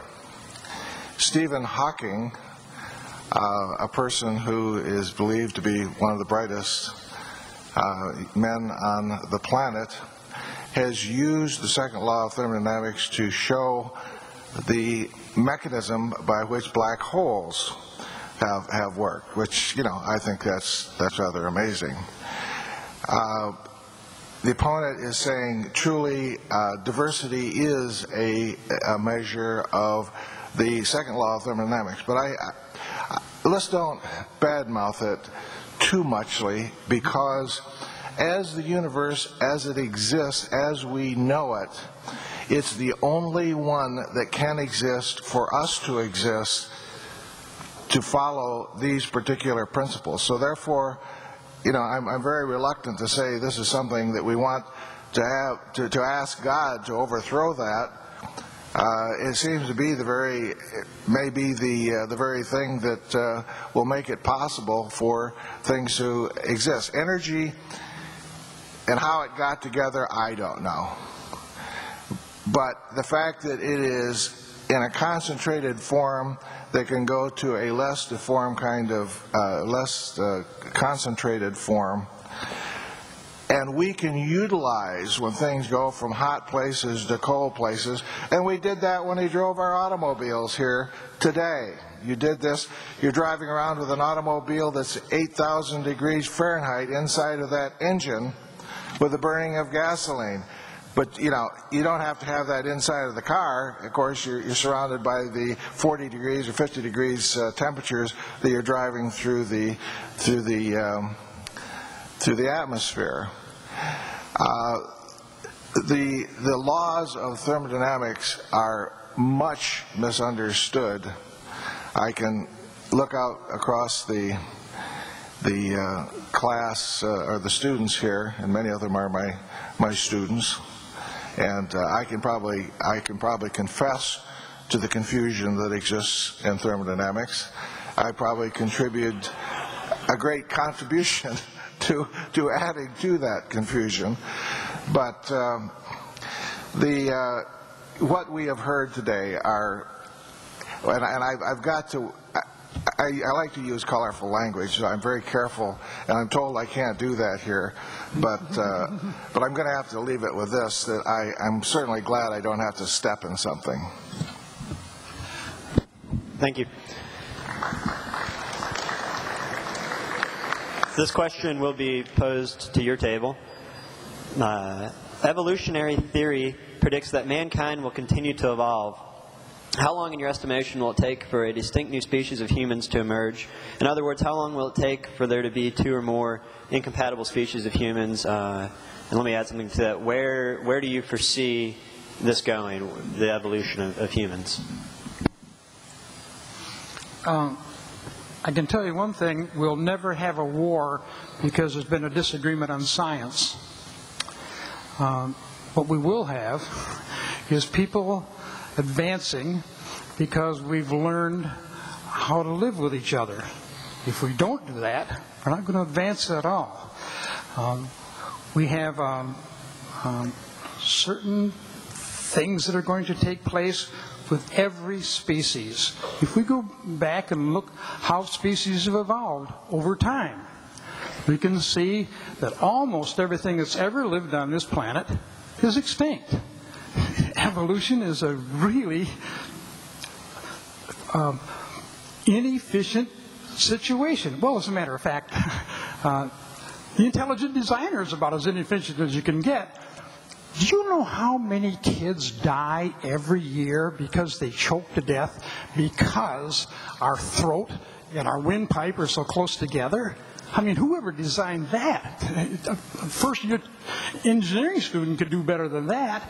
Uh, just think how many people in this audience probably got all kinds of hang ups because we've got a, a system that gets rid of our waste material right into a system that we, do, we reproduce with. I mean, you know, there's all kinds of animals that got better reproductive systems than that. They don't, you know, that the intelligent designer designed a snail that has his anus right above his mouth? Come on, who did that? Uh, we can explain those things by looking at evolution. You can't explain those things by looking at a designer. The designer did a terrible job on the eye. People have eye problems because the nerves in the cornea and the, in, the nerves in the retina are in the wrong place. Uh, it, it happened that way because that was the only thing evolution had to work with. There's all kinds of problems with design in the world. There's all kinds of problems with, with evolution. And what happens is we try to correct them. Now, what's going to happen to us in the future? It'll depend on us. I mean, I like the question because what it involves is ecology, involves environment, it involves saving the planet, involves, you know, under, what it involves is understanding evolution. You know, uh, the, one of these textbooks, I think it's this one, it says, it says in here, do not worry about the future because God is going to kill all of us.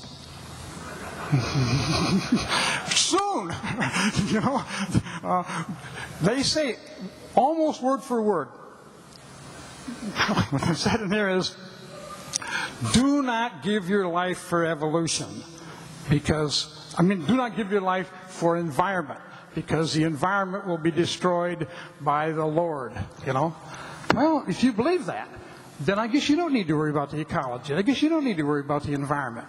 But I don't believe that. And I think that we should worry about the environment. I think we should worry about the future of our kids. I think we should worry about what's going on. And I think we should understand evolution so that we can stay healthy when we're doing it. We need to understand our immune systems. We under, need to understand that bacteria change on a moment's notice. We, under, we need to understand that highly formed animals can't change quickly. And we're a highly formed animal. We, uh, we evolve really slowly. Bacteria evolve very rapidly. Insects can evolve uh, certain things in just a matter of a, a few months.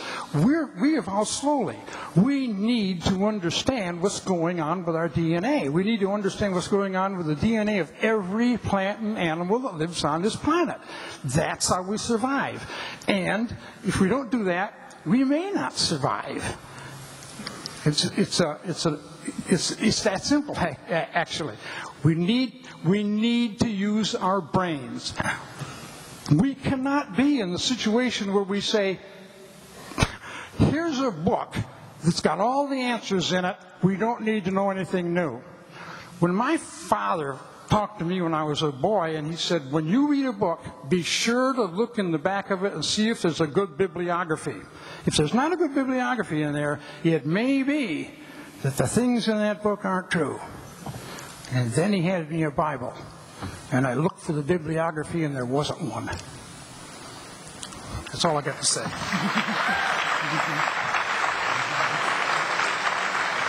Uh, I, well, I, I just kind of uh, wonder whether uh, there's any kind of a reason to assume that uh, evolution would necessarily lead to some kind of proliferation of uh, one particular species. Uh, that's that's sort of an assumption in the question that I don't really quite comprehend why it makes that. I think if we look back, we know that the we're coming from proliferation. That is, I understand that some comments have been that the Neanderthal does not share our genes. That is, is that are you up on that? that, that is, we had a proliferated species. Neanderthal was also uh, uh, human related, and there's every indication that uh, uh, chimpanzees are of the same branch in some way or other because they have an intelligence of a five year old and are capable of uh, manipulating language and communicating with us. So we're sharing this world already with uh, uh, uh, quite a few uh, different species that are awfully close to us. Uh, let me also mention the dolphin. There are stories that go back all the way to Roman times of cooperation between human and, and dolphin.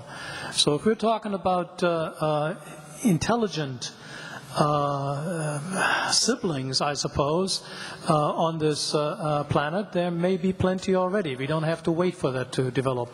Beyond that, I don't know what the future will bring. Uh, and, and, I think that is what characterizes uh, scientific mentality, is that you are willing to live with uncertainty, yet don't know it all. That's why you're motivated to learn more.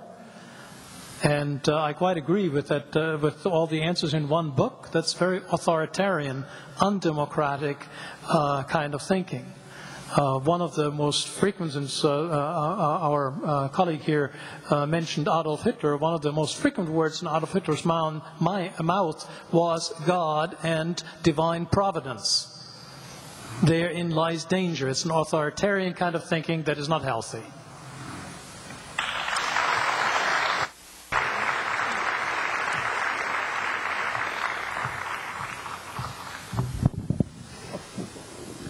All right. Uh, that's interesting. I don't want to step in much of that either myself.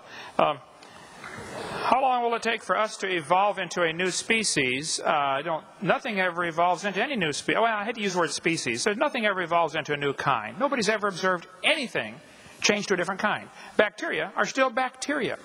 If they become resistant to a drug, it's because they lost the locking mechanism on the ribosome, so the antibiotic can't lock on.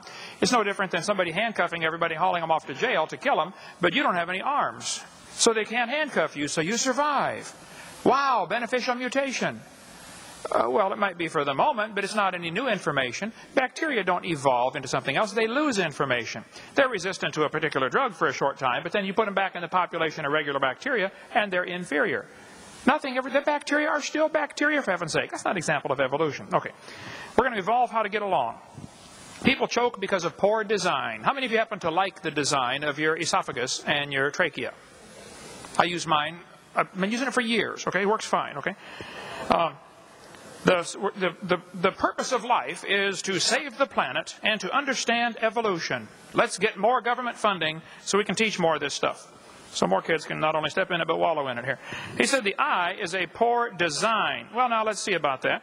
Um, Charles Darwin said, To suppose that the eye could have been formed by natural selection seems, I freely confess, absurd. Okay? Yet he goes on for four pages after that and tells how he think it happened.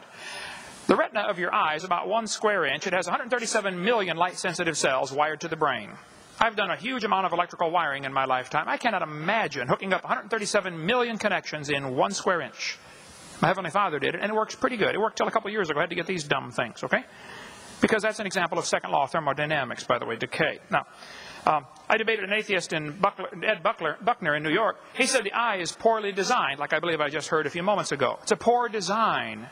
He said the retina is in front, the blood vessels are in front of the retina, so they block part of the light coming in. He said the octopus has a much better eye because their blood vessels are behind the retina. That's proof of evolution because of poor design. I said, Ed, we live in the air. Okay? Air is a poor insulator for UV light. Your body needs the blood vessels in front of the retina because that's your last defense against UV light. octopus live in the water. Okay? Water blocks UV light. They don't need their blood vessels in front. Now, if you want to swap eyes with an octopus, you just go ahead and enjoy yourself, but you're going to be blind in a few days, okay? Eh, their argument from poor design is like saying, well, God wouldn't do it this way, therefore it must have evolved.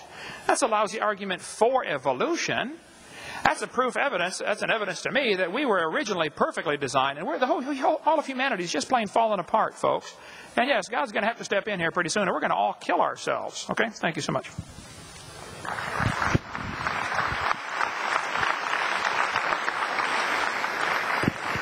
Professors uh, Reisbig, Schlieper, and Strayer, uh, in the interest of time, seeing that we uh, have left time for a 10 minute closing statement uh, for each side, let's go ahead and present those now. Would you please go ahead? Thank you.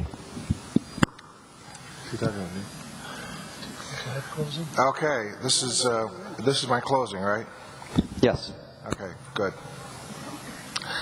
Well, This is uh, this has been an interesting discussion that uh, we've we've had. Uh, I, uh, I I wonder how we have uh, all changed in our, our minds and thinking and knowledge uh, of what we have talked about.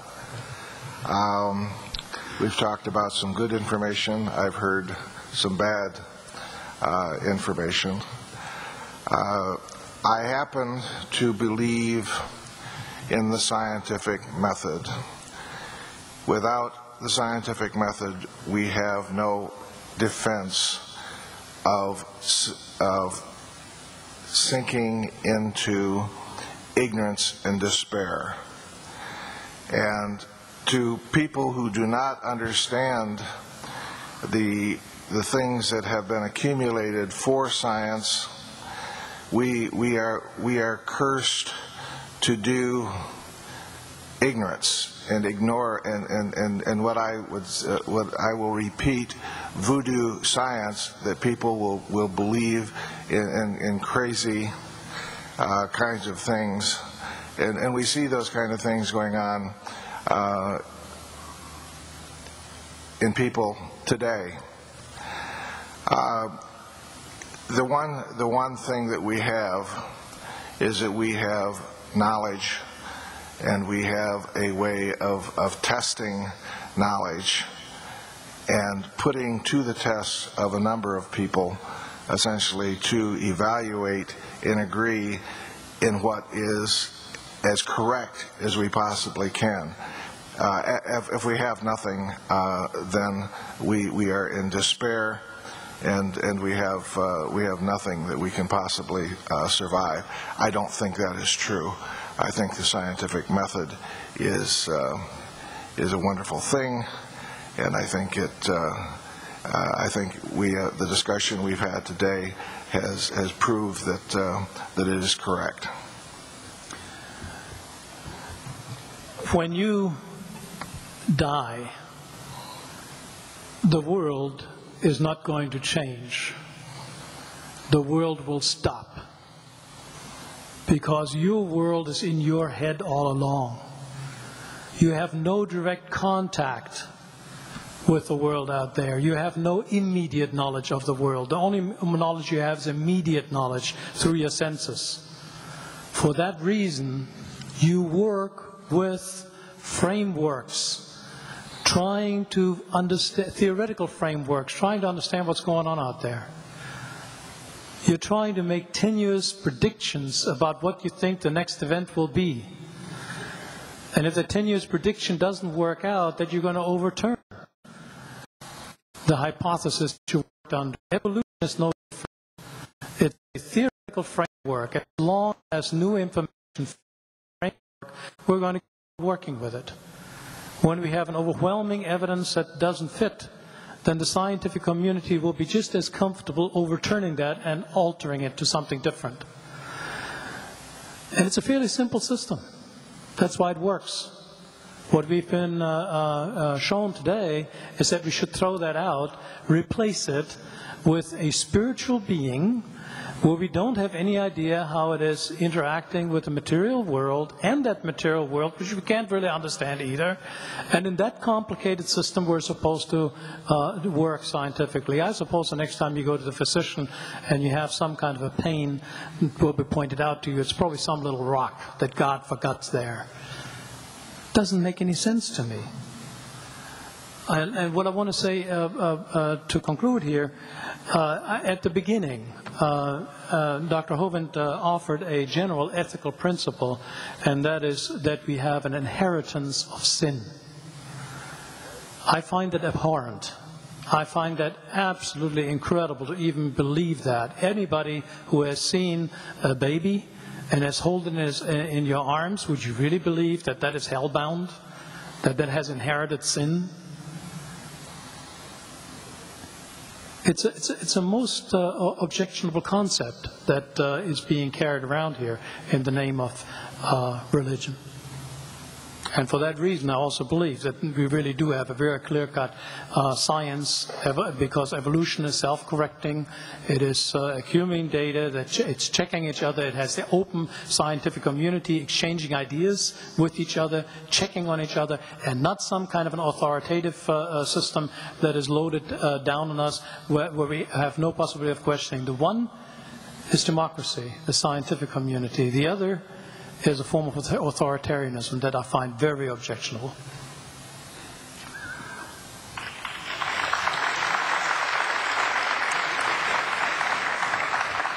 I'd like to quote from this creationist book for my closing. Um, there's a section in here, 342, it says Scientific Truths Revealed in the Bible.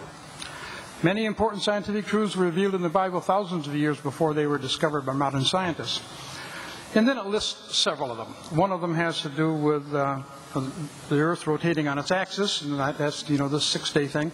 Another one has to do with the Earth running down, the second law of thermodynamics. And there's some stuff about blood and water and that kind of stuff. But anyway, here is the proof from the Bible that the Earth rotates on its axis.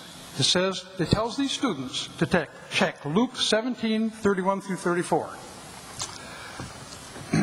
In that day, he which shall be upon the housetop, and his stuff in the house, let him not come down and take it away.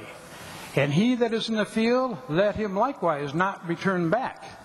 Remember Lot's wife.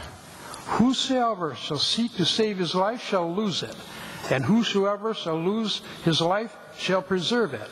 I tell you, in the night there shall be two men in one bed, and one shall be taken, and the other shall be left. I did not understand that. I called A Beka. I said, What does that mean? Well, you check with the teacher's manual to find out what that means. And they came, they went right, and they came back. They said, We're sorry, that's not mentioned in the teacher's manual. I said, Well, you know, is it a possibility? Is it a misprint? They took that as an insult and said, No, it's not a possibility, and click, they hung up. The second one the universe is running down. To find out the proof from the Bible that the universe is running down, you go to Isaiah 51 6. And it says, Lift up your eyes to the heavens and look upon the earth beneath, for the heavens shall vanish away like smoke, and the earth shall wax old like a garment, and they that dwell within shall die in like manner. But my salvation shall be forever, and my righteousness shall not be abolished. I didn't understand that either. I hope the applause means that you understood that that has something to do with the second law of thermodynamics and not. Anyway. It might.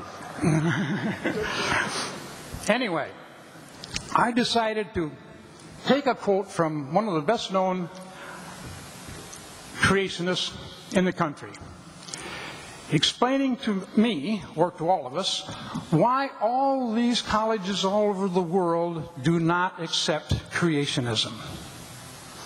And here's the quote. It's from a fellow named Kent Hovind.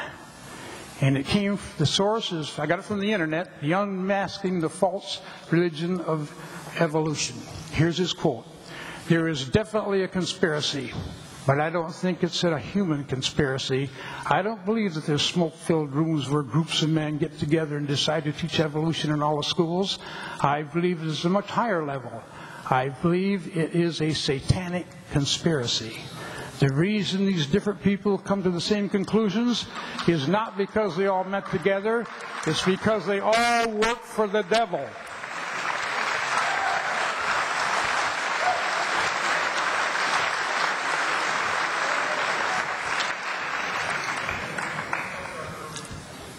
I think that was one of the most arrogant statements I've ever read in my life.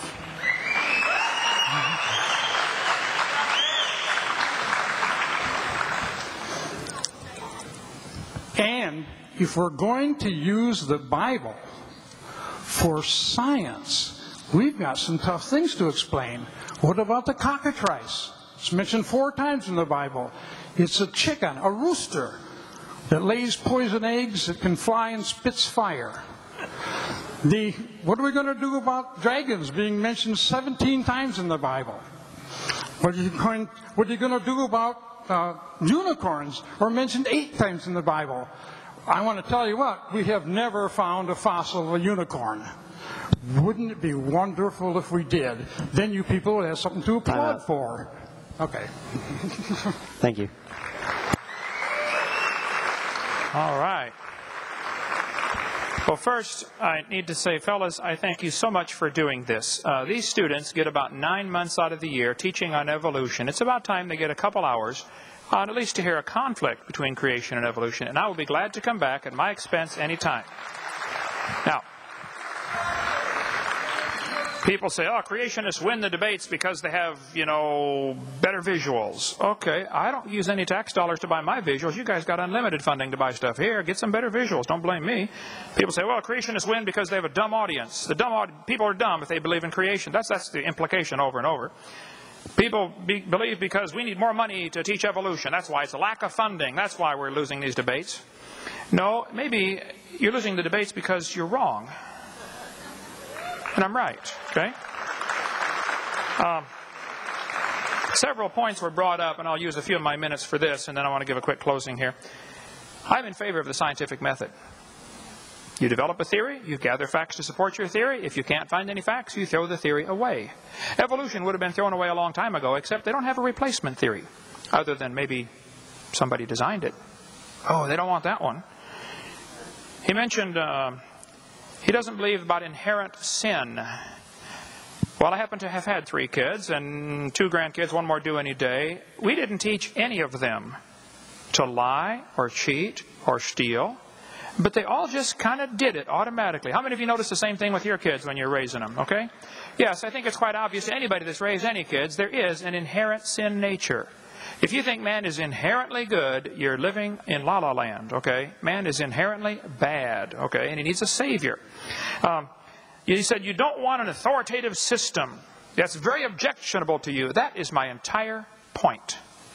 The reason people reject the creation story is because they don't want somebody telling them what to do.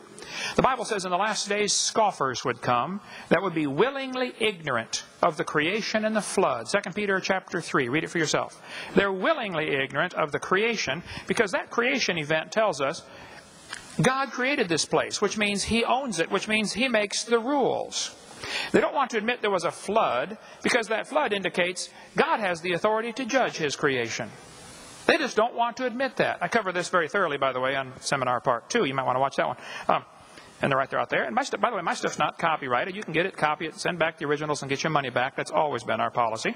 Um, so yes, I can understand why the idea of an authoritarian, uh, you know, Bible is objectionable to some people because that Bible says, "Thou shalt not do," you know, quite a few things. Okay, so yeah, I, I understand. The Bible says the fool has said in his heart, "There is no God."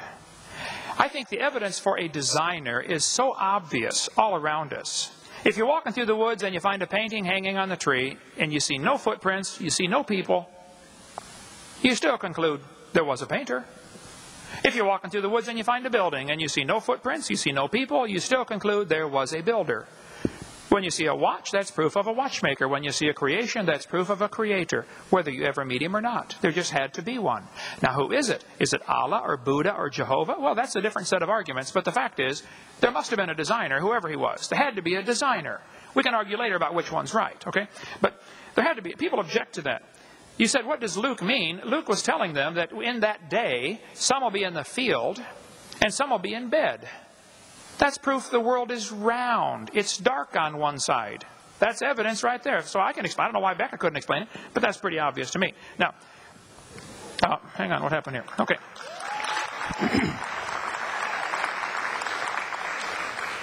I visited Wayne Strickland's tombstone. I don't know if the other date's filled in yet or not. It's been a couple years since I've been there, but the date was empty when I was there. He said he's an atheist. The Bible says the fool has said in his heart there is no God. God does not believe in atheists. And I, actually, I don't either. Okay? Um, you're going to die one of these days. I'm going to die. Now, fellas, I didn't drive all the way over here and leave my gorgeous wife because I like being gone. Okay? I, I didn't come to win an argument. I came to win you over. Honestly, I would like to see you saved, going to heaven. Maybe you think you are. I don't know. But if you think God used evolution, you have the wrong God. Okay? I know you write all kinds of articles for the uh, Atheist magazine, according to your bio here, Jim, and, and I think that People run from God. People can't find God for the same reason a thief can't find a policeman.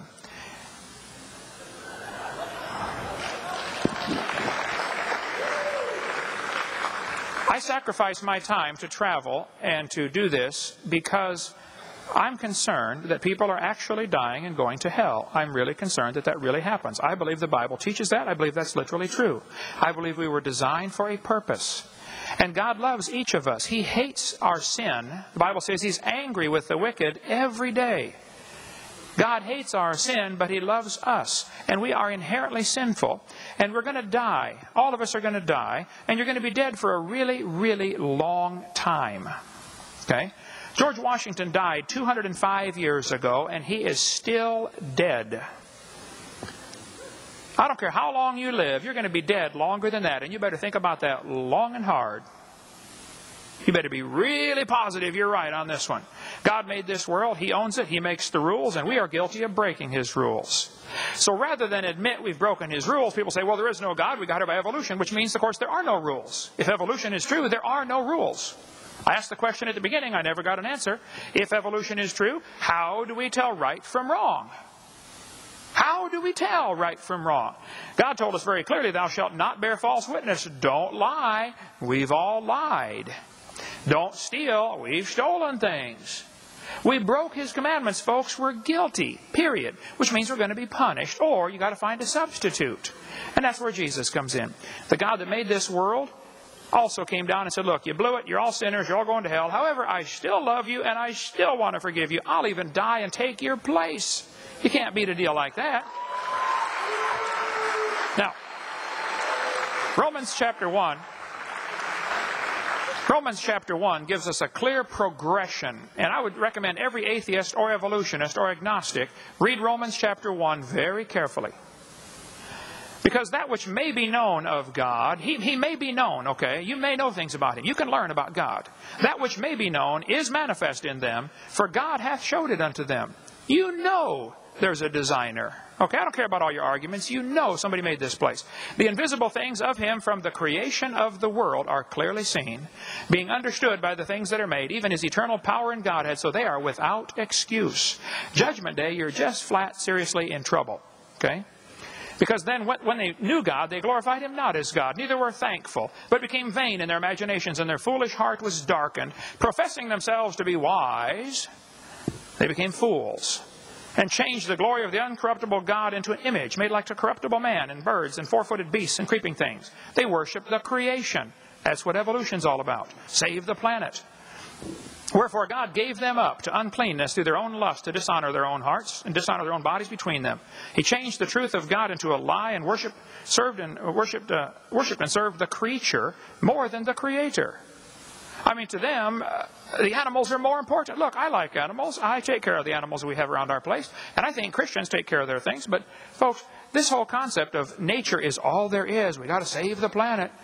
I don't pollute. I try hard not to. I work very hard to keep our place clean, and we do a very good job, I think. You can come visit Pensacola, Florida. But that's not the, that's not the ultimate goal of life. The Bible says God gave them up. You follow this trend. They don't want God telling them what to do, so God gives up on them. Okay, you do what you want. And then you get turned over to vile affections. That's the way it always goes. It descends. You can read the rest of the chapter. It goes right into homosexuality. By the way, if your job is to pass on your genes and you're the fittest, well, they're not the fittest, that's for sure. They're not passing on any genes to anybody. Uh, talks, I've been a long time on that one, but God's going to judge this planet. He tells us He's going to have to because man has rejected Him. Now, they professed them, they thought they were wise, they became fools. And if you believe your grandpa was a rock, you're a fool. Some of my ancestors probably swung by their necks, okay, but none of them swung by their tails. Now, if you think your grandpa was a monkey, I think you're still a fool, but that's okay. You have the right to believe that. You do not, however, have the right to use tax dollars to teach that fairy tale in a public university at taxpayer expense. I think evolution should be taught in private schools at private expense. Now, you guys are not the enemy. I don't. I, I, I, I love you and I want to help you. Okay. I think you're deceived, and it's worse that you're deceiving others if you're teaching this stuff.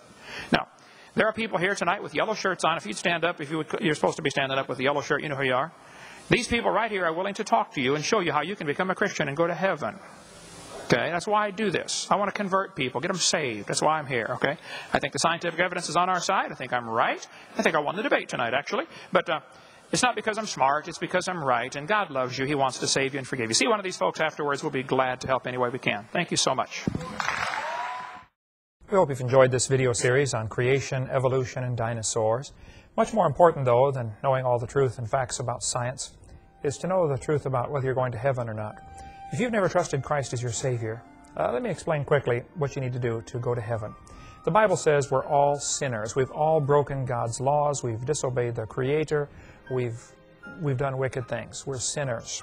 Some are worse than others, at least in man's eyes, but we've all broken God's laws. And the Bible says you have to repent. The word repent means to turn. It actually means two things to turn from your sin and to turn to God. God's looking for a change in your attitude where you say, Lord, I don't want to do wrong anymore. I'm sorry, I've offended you. I want to do right.